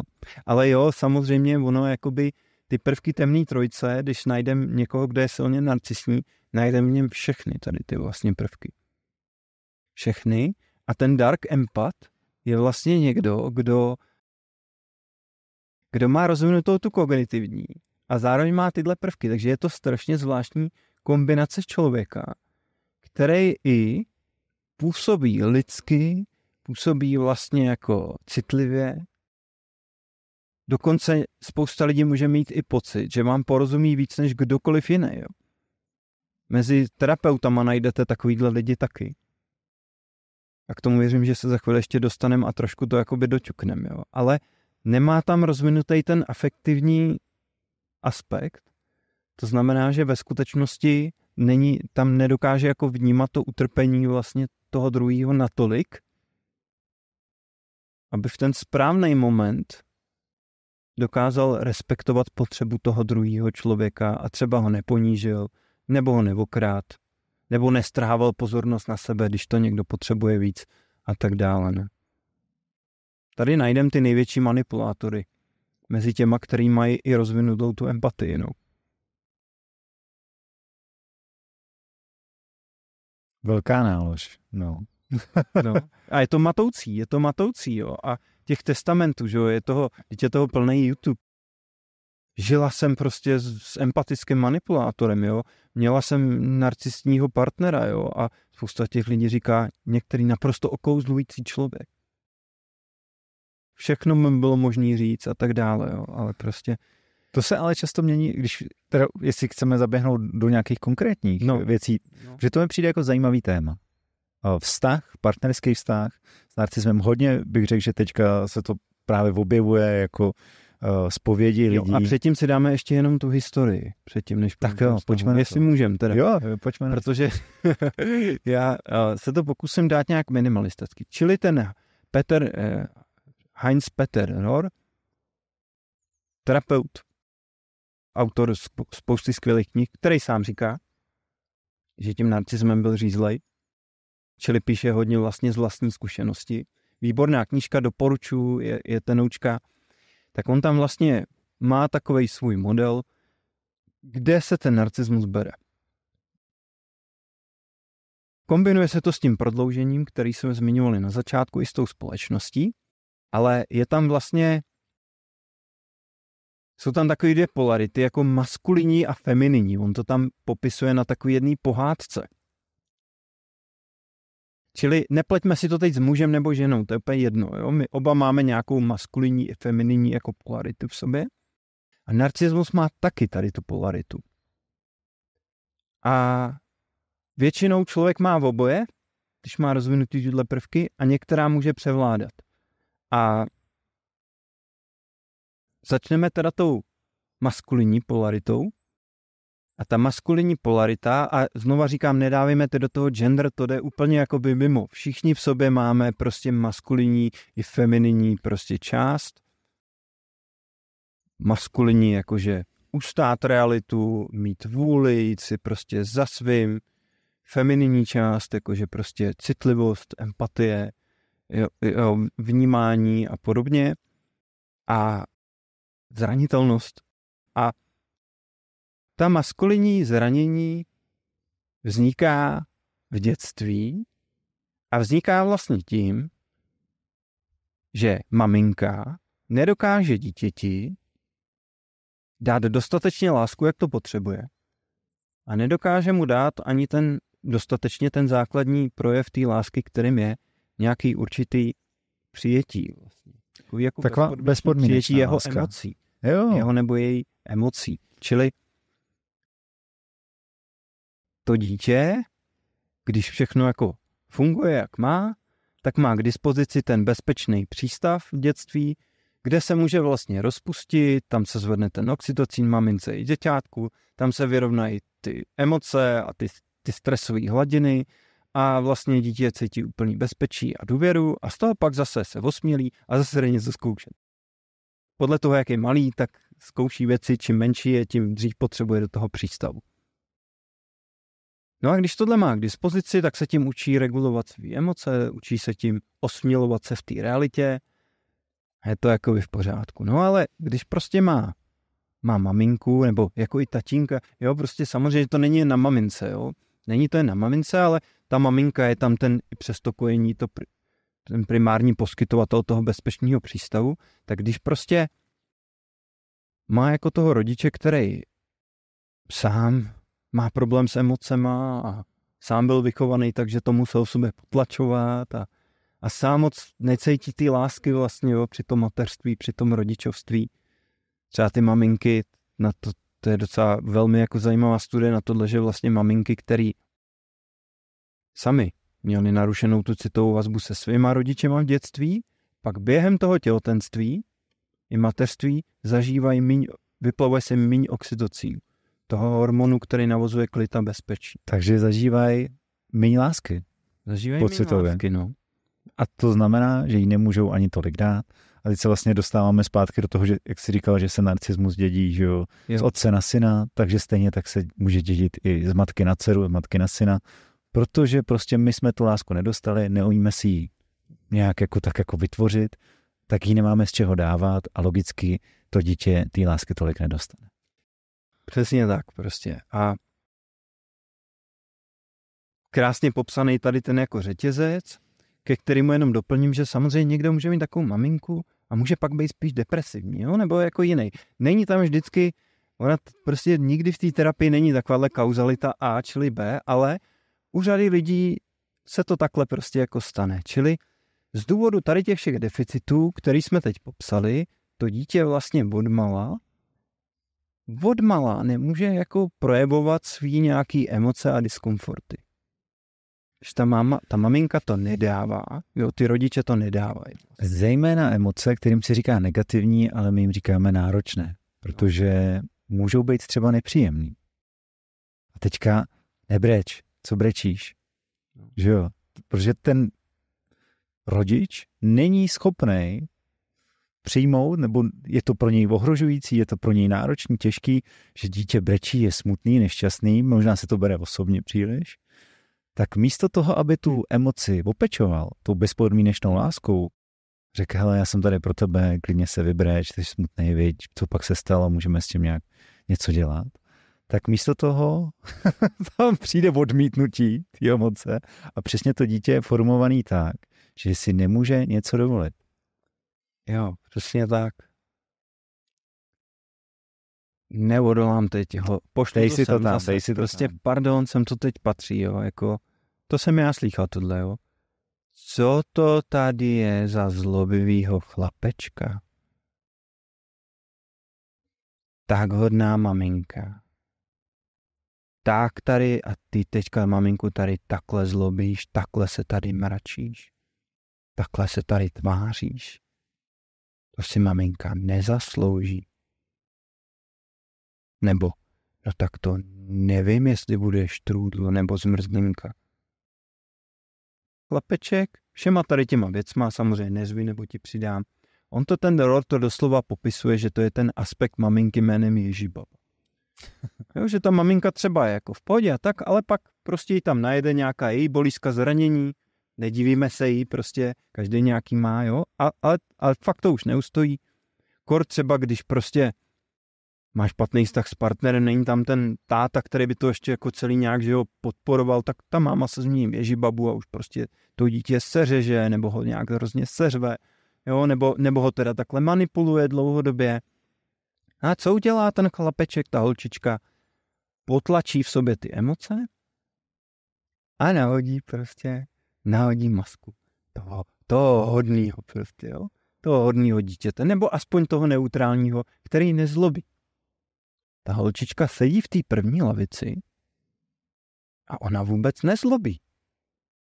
Ona tam sedí, dává pozor, poslouchá paní učitelku. Takový robot. Takový robot vlastně, jo, bez emocí, bez projevů, může se usmívat nebo nemusí, ale nezlobí. Není na obtíž. Wow, bomba. Povedlo se to. Vycvičili jsme si hodnou holčičku, hodného Super. chlapečka. Tak. Bomba, povedlo se to. A z toho člověka pak, když tam je ještě to narcisní prodloužení, anebo není, to je jedno, když tam je, tak se to ještě formuje víc do té formy, jak to chce mít, když tam není, tak se to formuje nějak jinak, ale vlastně klidně z toho může vyrůst jako úspěšný člověk, klidný člověk, distingovaný, slušný, Dobře vychovaný. nebo usmívající se, září, on přijde do obchodu, dobrý den, já vás zdravím, jo. Skvělý člověk prostě, jo. Ale Někde uvnitř. někde tam deep down, v tom domě, v tom krásném domě, ve kterém jsou tři koupelny, čtyři záchody, krásný LCDčko, nádherný tapety, skříň plná Balenciaga hadrů prostě, nebo nevím, záleží na tom, Gucci možná, kdo ví. No. Všechno je tam nádherný. Prostě můžou tam být i mandaly. Můžou tam být mandaly, může tam hrát krásná hudba. Je tam voná tyčinka. Hmm. Tak když si tak zvýším tu svoji všímavost, tak si tam tak sedím. Tak se tak jako, víš, tak jako nacítím, tak zjistím, že ono tady něco smrdí. A není to voná tyčinka. Ne. Co to tady smrdí, jo? A vlastně pak zjistím, že tam jsou takový dveře, takový zvláštní, vypadají hezky. A si otevřu ty dveře, když jako seberu tu odvahu, pak jdu po nich, o smrdí co čím dál. O, tam se mi nechce, tak radši odejdu. Ale pak zase, protože třeba poslouchám tady ten podcast, nebo se zajdu na terapii, tak zase tam jako jdu a tam najednou zjistím, že vlastně, že tam je sklep plný hoven vlastně. jo. Že, tam, že, to, že to tam je úplně přeplněný, prostě úplně to je nádrž, to je bazén, to je plný bazén. Kde se to tam vzalo? Asi z toho, že je někdo nevynášel. Že je někdo neprojevoval ty nepříjemné, náročné věci. Tak tam dole hnijou a smrdějí. Nejenom, že je nevynášel, on to tam vždycky chodil dát tím kýmblem. On ten člověk najednou zjistí, Ježíš to jsem tam nosil já prostě, tady ty kýble prostě, těch exkrementů, celý život. Proč jsem o tom nevěděl? No nevěděl jsem o tom proto, že jsem to začal dělat většinou dřív. než jsem ještě věděl, že se jako jmenuju Marek, dřív než jsem ještě jako, víš, měl nějaký rozum jako svůj a tak. To se děje od raného dětství tady to. Čili vznikne tam intuitivní automatický mechanismus potlačování svých emocí a potřeb a přirozených projevů, který vypadá jako to nošení do kýble. Já na sílu potlačím svoji emoci a jsem zase ten hodný chlapeček, protože teď mám lásku. Teď hmm. mám uznání, jo, prostě. A, ale bohužel si tam buduju tady ten prostě, tady ten bazén, z toho pak vznikají i ty úzkosti někdy. Ten nakumulovaná masa vlastně těch emocí. Ale hlavně co? Hlavně já se za to stydím, že jo? Já se za to sakra stydím, protože kdykoliv mi najel nějaký hněv a něco, co to tady je za zlobivýho chlapečka, než mi nebo ti přidám, tak já jsem to potlačil další emocí, nějakým studem nebo, nebo strachem a podobně. A protože pro mě bylo těžký s tím letím žít a protože jsem měl být úspěšný inženýr, protože jsem měl být tamhle prostě e, zpěvák, nebo jsem prostě měl být doktor a všechno tady to, tak jsem to, ještě tohle všechno jsem musel překrejt píchou vlastně že se teď stávám tím hodnotným člověkem, když hraju ten tenis a mám něm úspěchy. Když nosím domů ty jedničky, jo. Takže celý je to takhle přikrytý. Ve skutečnosti, přátelé, tam dole ani není už bazén plný hoven. To je, to je kryt s radioaktivním odpadem, jako doslova. Jo. To je radioaktivní tady to. A tohle i vysvětluje, proč spousta jakoby narcisních lidí tohle nechce vidět. Protože je to extrémně odporný, co je tam dole. A hlavně je to tam extrémně dlouho. A ty, když si extrémně dlouho něco nalháváš a pak někdo přijde, hele, pojď se podívat do toho sklepa. Řekneš, ne, co bych tam chodil, tam nic není. Hmm. Jako, protože to celý život tam chodíš, nosíš, ono to tam hníje. A čím díl to děláš, čím víc na tom stojíš, čím víc pišnej na ten barák nad tím, tím míň tím těžší je jít dolů do toho sklepa a začít to čistit. Tím těžší je si přiznat, že tam ten sklep vůbec nějaký je. No a ty jsi ale vlastně říkal, začali jsme to tou mužskou polaritou od Rora. K té mužský jenom ještě tady, nebo maskulinní, řekněme to takhle, jenom jakoby dodám, proč maskulinní, protože to je ten mechanismus potlačovat své emoce a potřeby. Musel jsem, abych přežil. Musel jsem je potlačit, abych přežil Vlastně taková tvrdost. Tvrdost, je ano. Proto ta vlastně, forma. A moc forma. Říká se tomu taky syndrom železných kamen, jo. Tím, že to takhle přikryju. A přesně na té tvrdosti já si vybudu nějakou fasádu většinou toho, co je společensky přijatelný, toho, co považuji za hodnotný, nebo toho, co po mně chtějí rodiče nebo další blízké osoby. A proto i takový člověk může být úspěšný, veselý, může být terapeut, jo, úplně bez problémů, ale je to fake.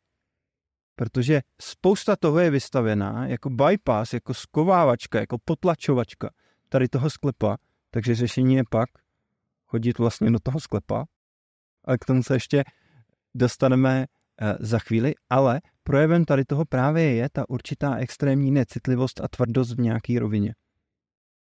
Čili tady ta polarita vede k tomu, že člověk se naučil hrát toho, že je slušný, naučil se hrát, že je hodnej, naučil se hrát to, že zdraví, jako jsme se bavili na minulých dílech, jo, všechny tady ty věci. A pod tím vlastně bujou, bujej velmi, velmi radioaktivní potlačený emoce. Emoce nejsou špatný, dlouhodobě potlačovaný, vytěsňovaný emoce jsou. Oni nezmizej, pardon, bohužel. Oni nezmizeli. Oni tam jsou. Takže i z toho důvodu ta, tam to, tady pak vzniká ten aspekt té necitlivosti. Takže to je ta maskulinní polarita. A teď si dáme femininní polaritu. Jo. No a ta femininní, to je taky zajímavá záležitost. Zase to uvedeme jakoby na nějakým příkladu, eh, nebo z toho, jak to popisuje ten ROR, že vlastně k tý dochází a u dětí, který jsou většinou hodně empatický, proto je ten jako dark empat, jo, někdy.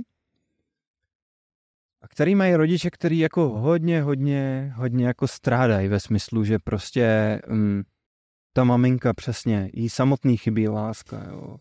A je nějak bolavá. A teď ten táta odejde od té rodiny a opustí je. Jo, nebo je nefunkční a selhává a všechny tady ty jako aspekty. A to dítě se jako rozhodne vlastně zachránit toho jednoho rodiče nebo ten jejich vztah. A nebo dokonce je do toho tak jako vmanipulovaný a to, to je teď jako hodně, hodně bolestivý aspekt, který mě přijde ještě málo jako připouštíme, jo, ale prostě bohužel některý rodiče dělají prostě to, že jsou tak v něčem bolaví a tak nesebevědomí a tak jako vyčerpaný, že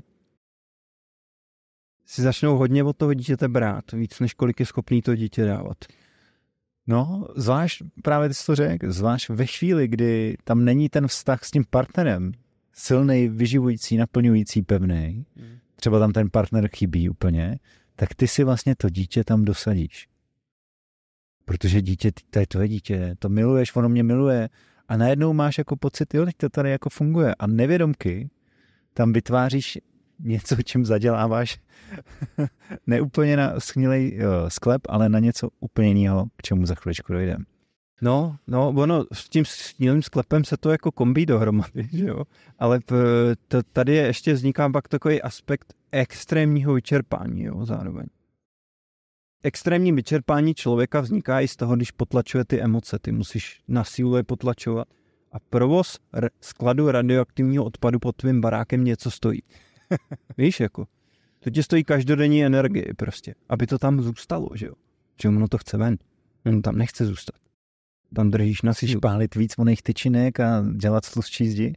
Aby to nevybuchlo, že jo. Jedno z vysvětlení, proč lidi jsou s věkem někdy čím dál víc jako vyčerpaný, jo.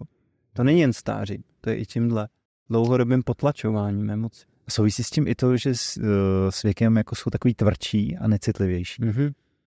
Souvisí, tak to třeba popisuje David Hawkins ve své úžasné publikaci Letting Go, což je za mě, os, za mě osobně, je to z praktického hlediska nejlepší příručka na práci s emocema.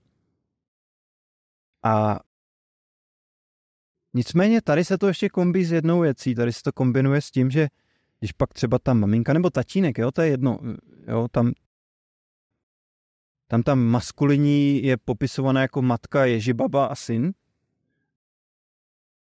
ta femininní je popisovaná jako otec a jeho jako pseudopartnerka princezna, ale ono to je jedno, to je prostě jenom jako pohádka. Tady klidně tohle může taky fungovat matka, syn a naopak.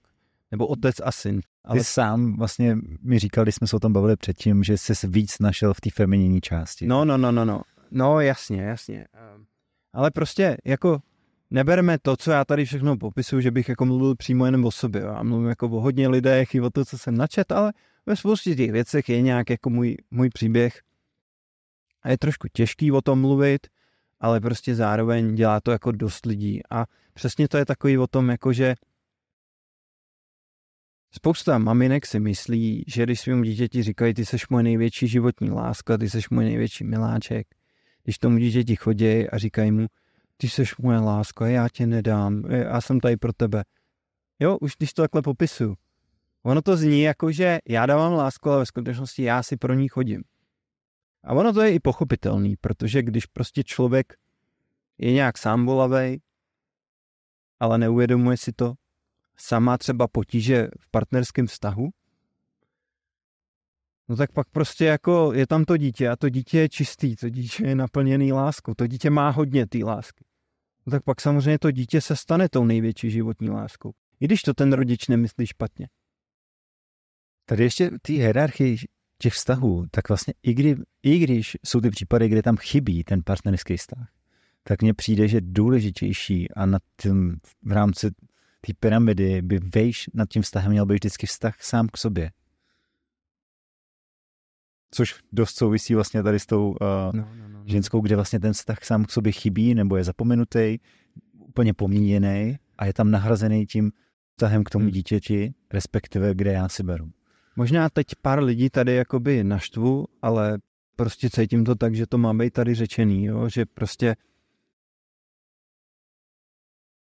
bohužel, i když si myslíme, i my, kteří jako meditujeme a děláme terapie, posloucháme podcasty, když si myslíme, jak jsme uvědomělí, tak jsou určitý věci a určitý deficity lásky k sobě, který si nemusíme nutně uvědomovat a nemusíme si uvědomovat, že třeba i náš vztah s naším partnerem není tak úžasný, jak si říkáme, že je. A pak prostě u některých lidí, a vidím to u některých žen, nechci říct žen, ženy, matky, jo, i, i u mužů to je, ale prostě použiju teď zrovna tohle. Uh, už když se podíváš třeba na nějaký jakoby profil, jo, Instagramový někoho, a vidíš tam všude tu maminku s tím dítětem, všude vlastně. Víš, všude tam je to dítě tam na tom Instagramu. Všude s tím prostě a pod tím srdíčka, moje největší láska, srdíčka, to je úžasný muž, jo, a takhle. Dvouletý kluk. Přesně, jak může být. Já jsem si volal s jednou mojí kamarádkou, která je to úžasná jako ženská, jo, ale volali jsme si a já říkám, co ten tvůj syn prostě, jo, jednoletý. Víš, to je tak úžasný, silný muž prostě, jo tak úžasný, já předtím smekám před jeho mužskou energii a říkám, ale to je dítě, to není žádný muž. Nedělej si z něj toho partnera. Hm. Neprojektuj si na ně, že bys potřeboval takovýho muže, jo, prostě.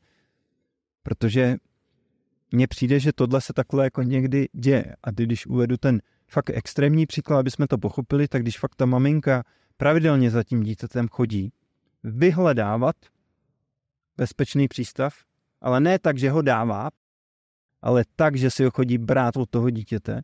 Ve chvíli, kdy sama strádá, no. tak se to pozná. Často. A když to dítě to odmítne, protože ono samozřejmě nechce jako takhle dát, ono, ono může dávat do nějaký míry, ale ono má prostě svý limity a chce být hlavně dítě. Když to odmítne, tak ta maminka třeba jako se citově uzavře a řekne, no tak si tady buď.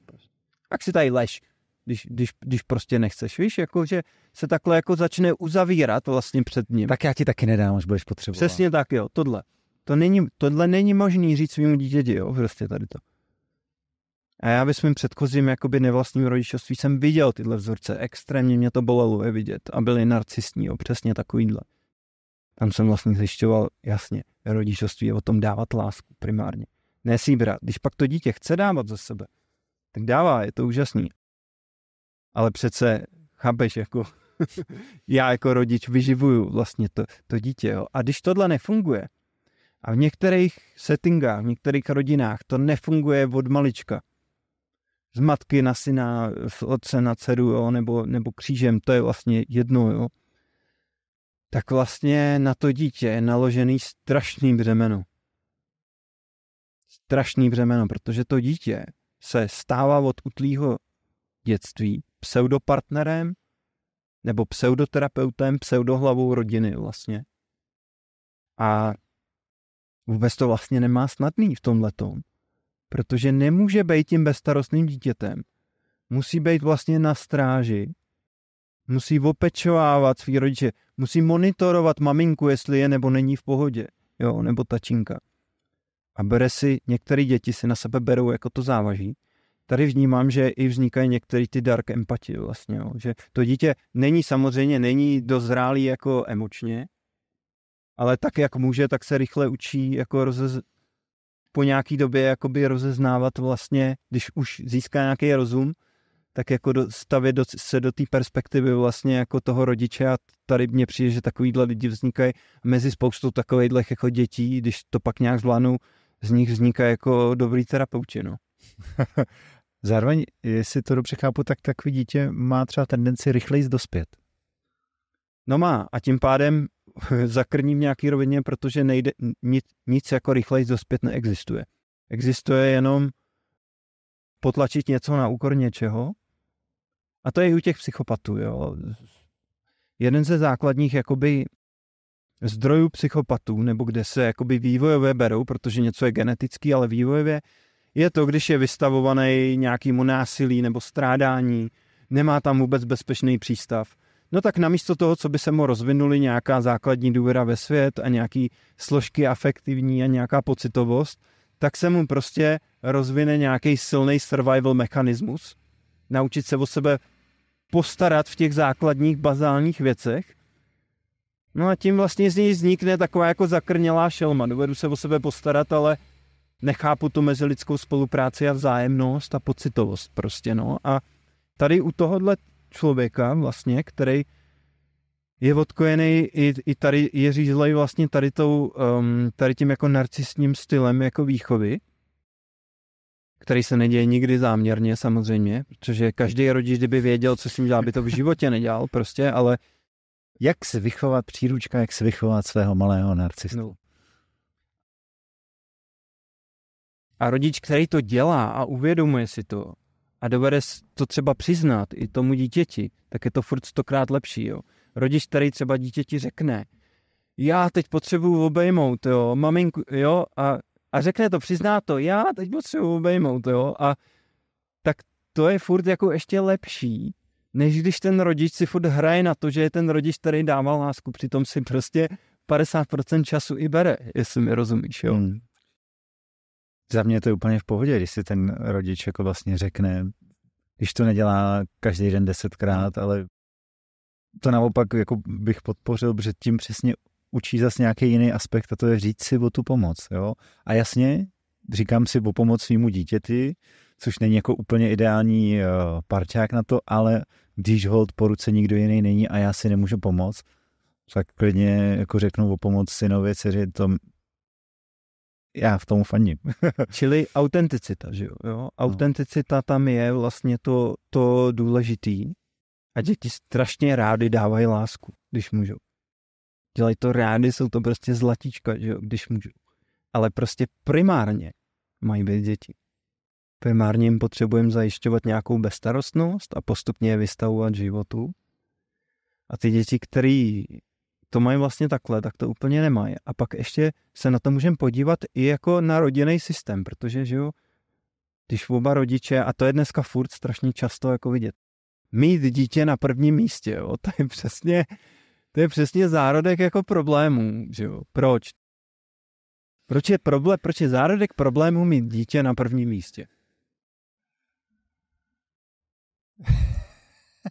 Hele, uh, já jsem zjistil, že mě obecně vadí, že v sobě, teďka odskočím úplně, ale že, že si jako vždycky vzpomenu na tu školní lavici, kde tě najednou někdo vyvolá a zeptá se tě na něco, o čem vlastně třeba, že jsi chtěl mluvit o něčem a zeptá se tě na něco, takže vlastně pozoruju tu svoji úzkost, jak mi to je nepříjemný. Jež, mě pardon, já myslel, že to je tvůj oblíbený téma. Je to moje oblíbené téma, ale vlastně jsem to tak jako tak teďka spozoroval, teda, tak, tak, jsem, uh, tak jsem to spozoroval. A jenom možná k tomu jako doťuknu, že to je, že to je často nějaký jako mm, signál toho, že v tom partnerském stavu něco nefunguje.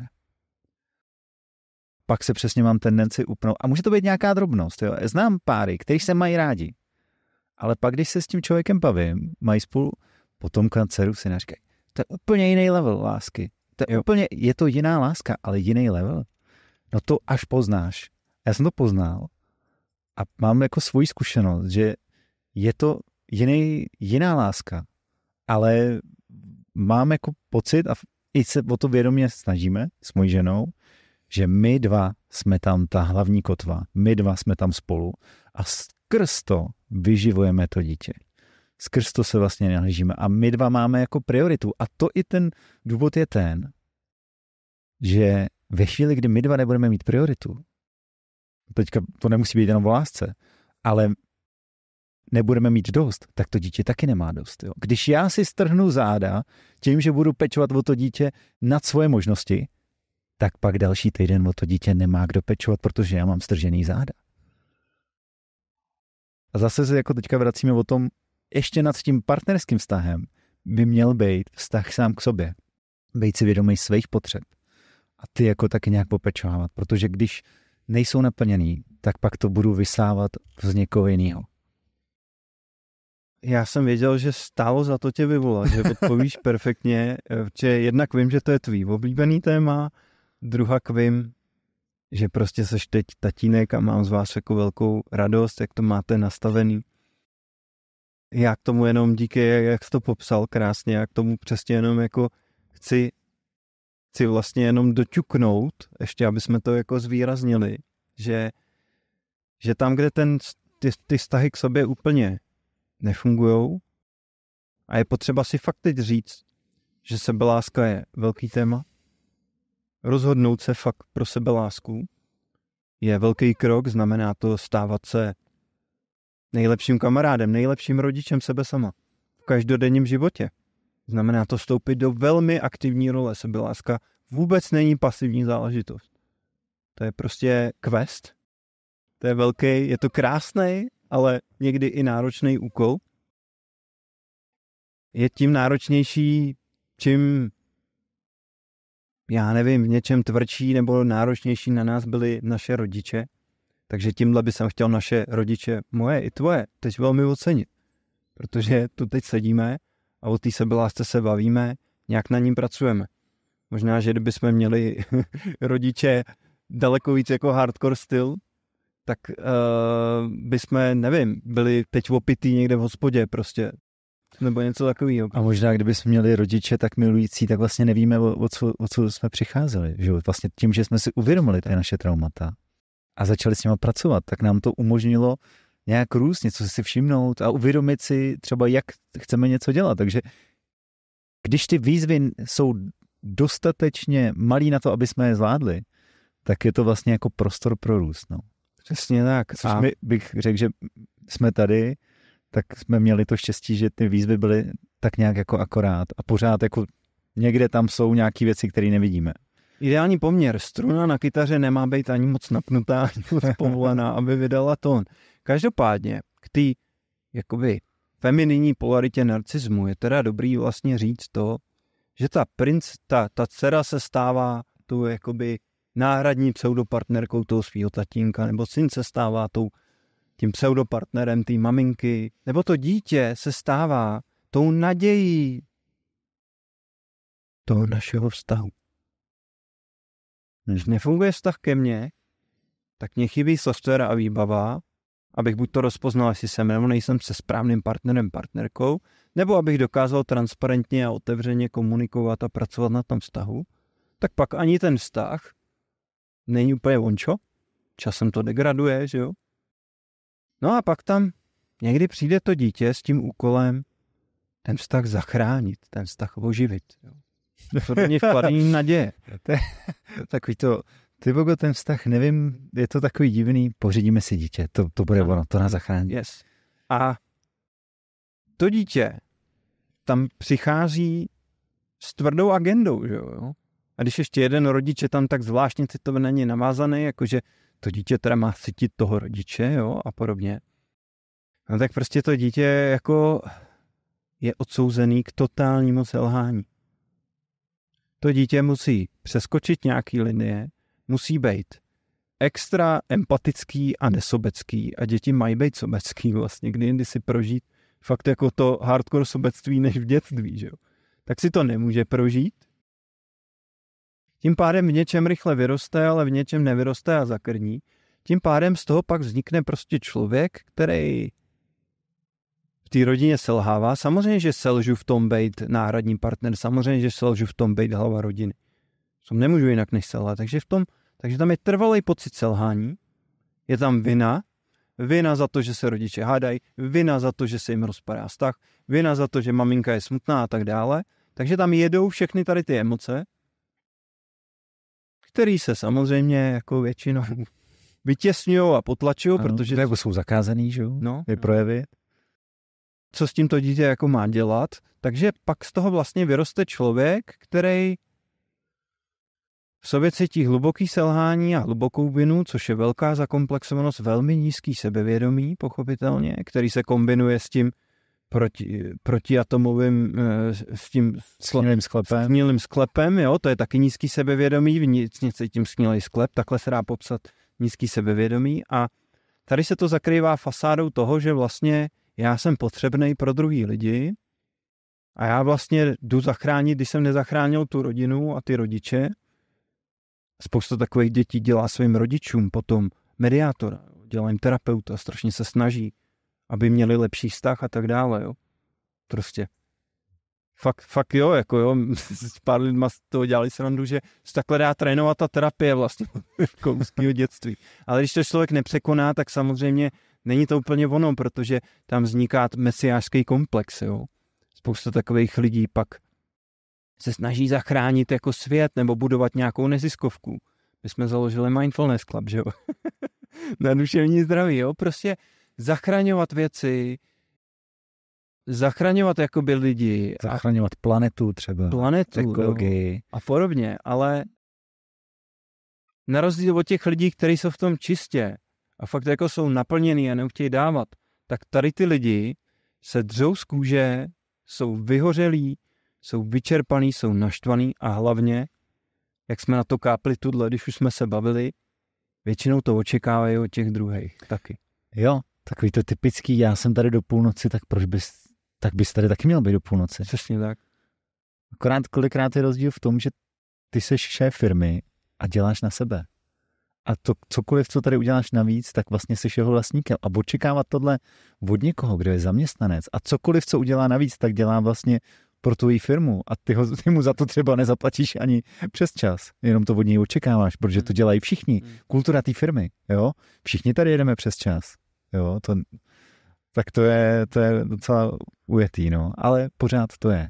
Pořád to v některých firmách, v nějakých formách frčí.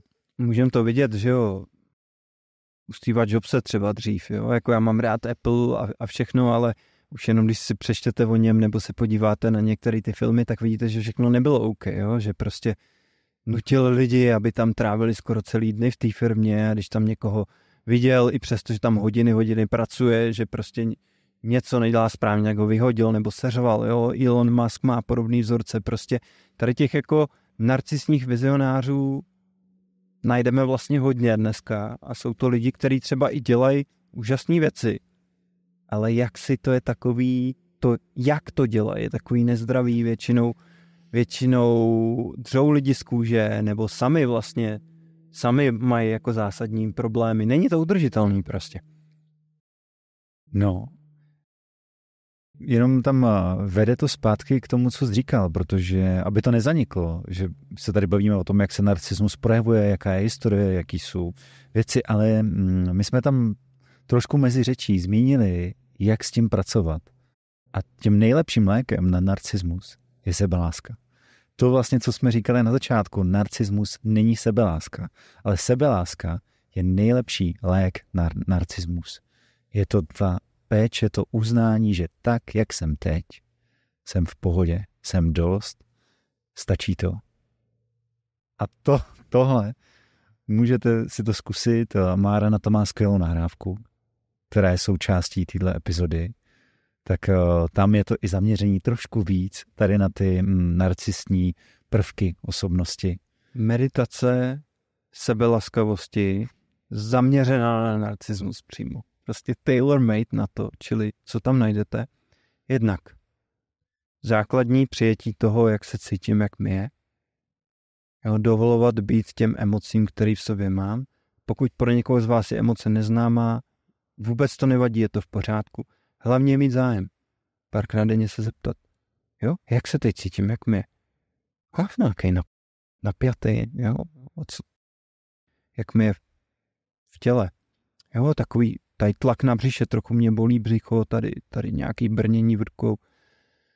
No, tak jo, tak tomu dovoluju být. Tak jak to je možný, to respektuju prostě teďka. Chvíli s tím jsem.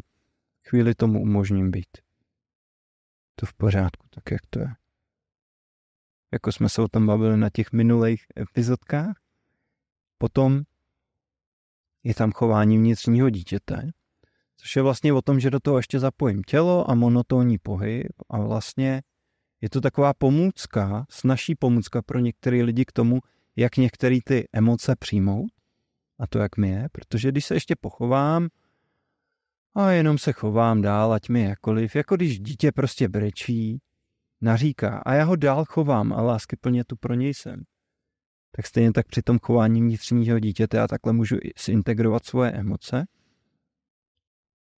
A pak je tam ještě takový aspekt vnitřního přítele, kdy prostě se ocením a pochválím za něco.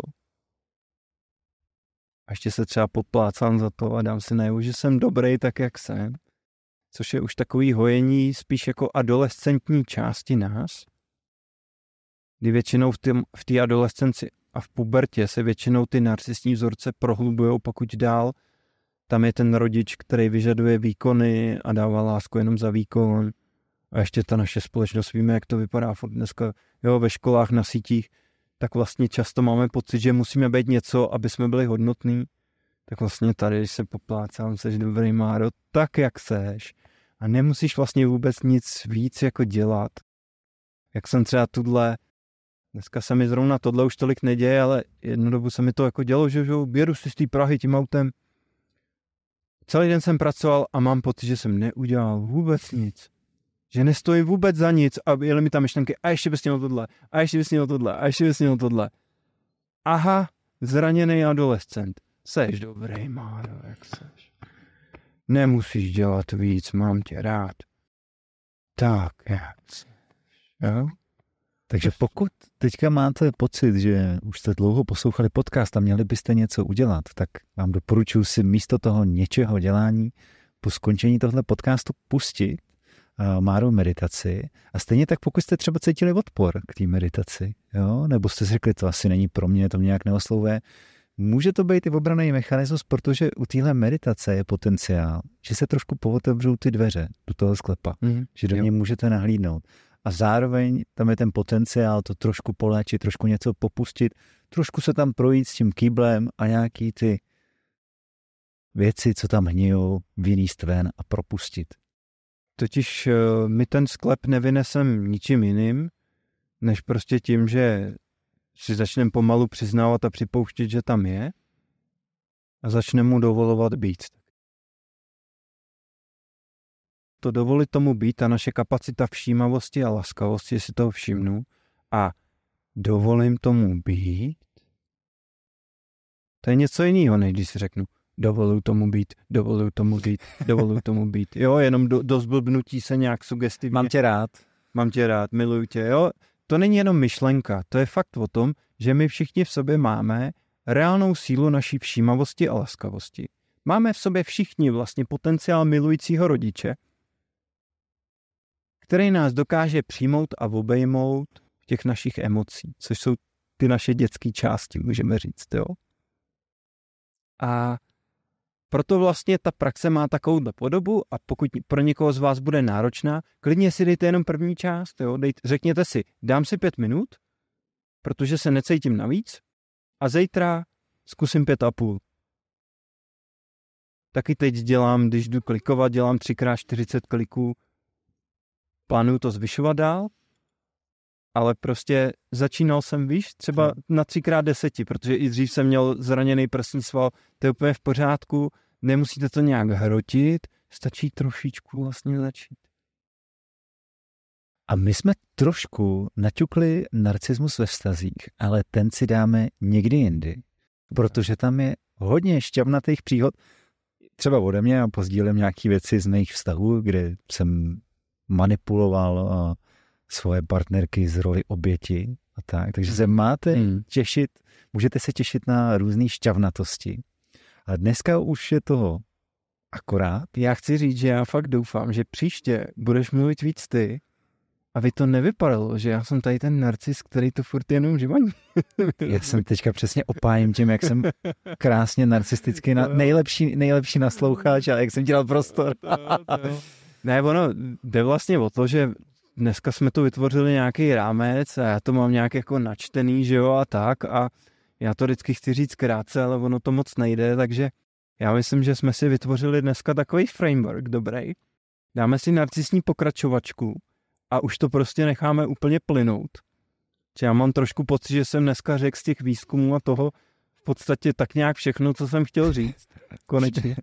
Takže už nemusíte, ne, přečtěte si ty knížky taky. Určitě, určitě, tam toho najdete spoustu. A samozřejmě, kdo máte chuť nás podpořit, tady naše povídání a úvahy nejenom nad narcismem, ale i nad všímavostí, laskavostí a tak, tak vás zvem k tomu, abyste se stali našima placenýma fanouškama na Hero Hero nebo na YouTube. Na obou dvou kanálech se můžete stát placeným fanouškem a tím se vám vlastně zpřístupní i bonusové epizody. Už jich máme natočených docela dost ke každému dílu a k tomu dnešnímu jsme natočili bonusovou epizodu, která je zaměřená na to, jak se vlastně psychicky vyrovnat s tyranem ve vašem životě. Pravděpodobně s někým, kdo může mít nějaký narcistní nebo psychopatické prvky, jak, jak se vlastně, jak postupně nabrat sílu k tomu, se s tím člověkem vypořádat a ideálně se mu i postavit, takže to je taková chuťovčička, kterou ti můžete odemknout. My budeme moc rádi za veškerou vaši podporu, jsme vděční každému z vás, kdo nás podporuje, motivuje nás to, stimuluje nás to. A pokud si to nechcete zaplatit, dejte nám aspoň like nebo odběr, protože to nám dělá taky velkou radost. Tak, tak. Šiřte to dál, jak budete mít chuť. Můžete nám napsat na, na e-mail, můžete napsat do komentářů, co byste, co by vás zajímalo třeba z těch oblastí, co byste rádi viděli na dalších epizodách. Nebo co vás zaujalo z téhle nebo předchozích epizod. A my se s váma pomaličku loučíme a těšíme se zase někdy, teď a tady. Teď tam, a tady. Ať už jste kdekoliv, tak jste teď a tam. tady u našeho Peťkástu. Mějte se krásně. Mějte se krásně. Ahoj.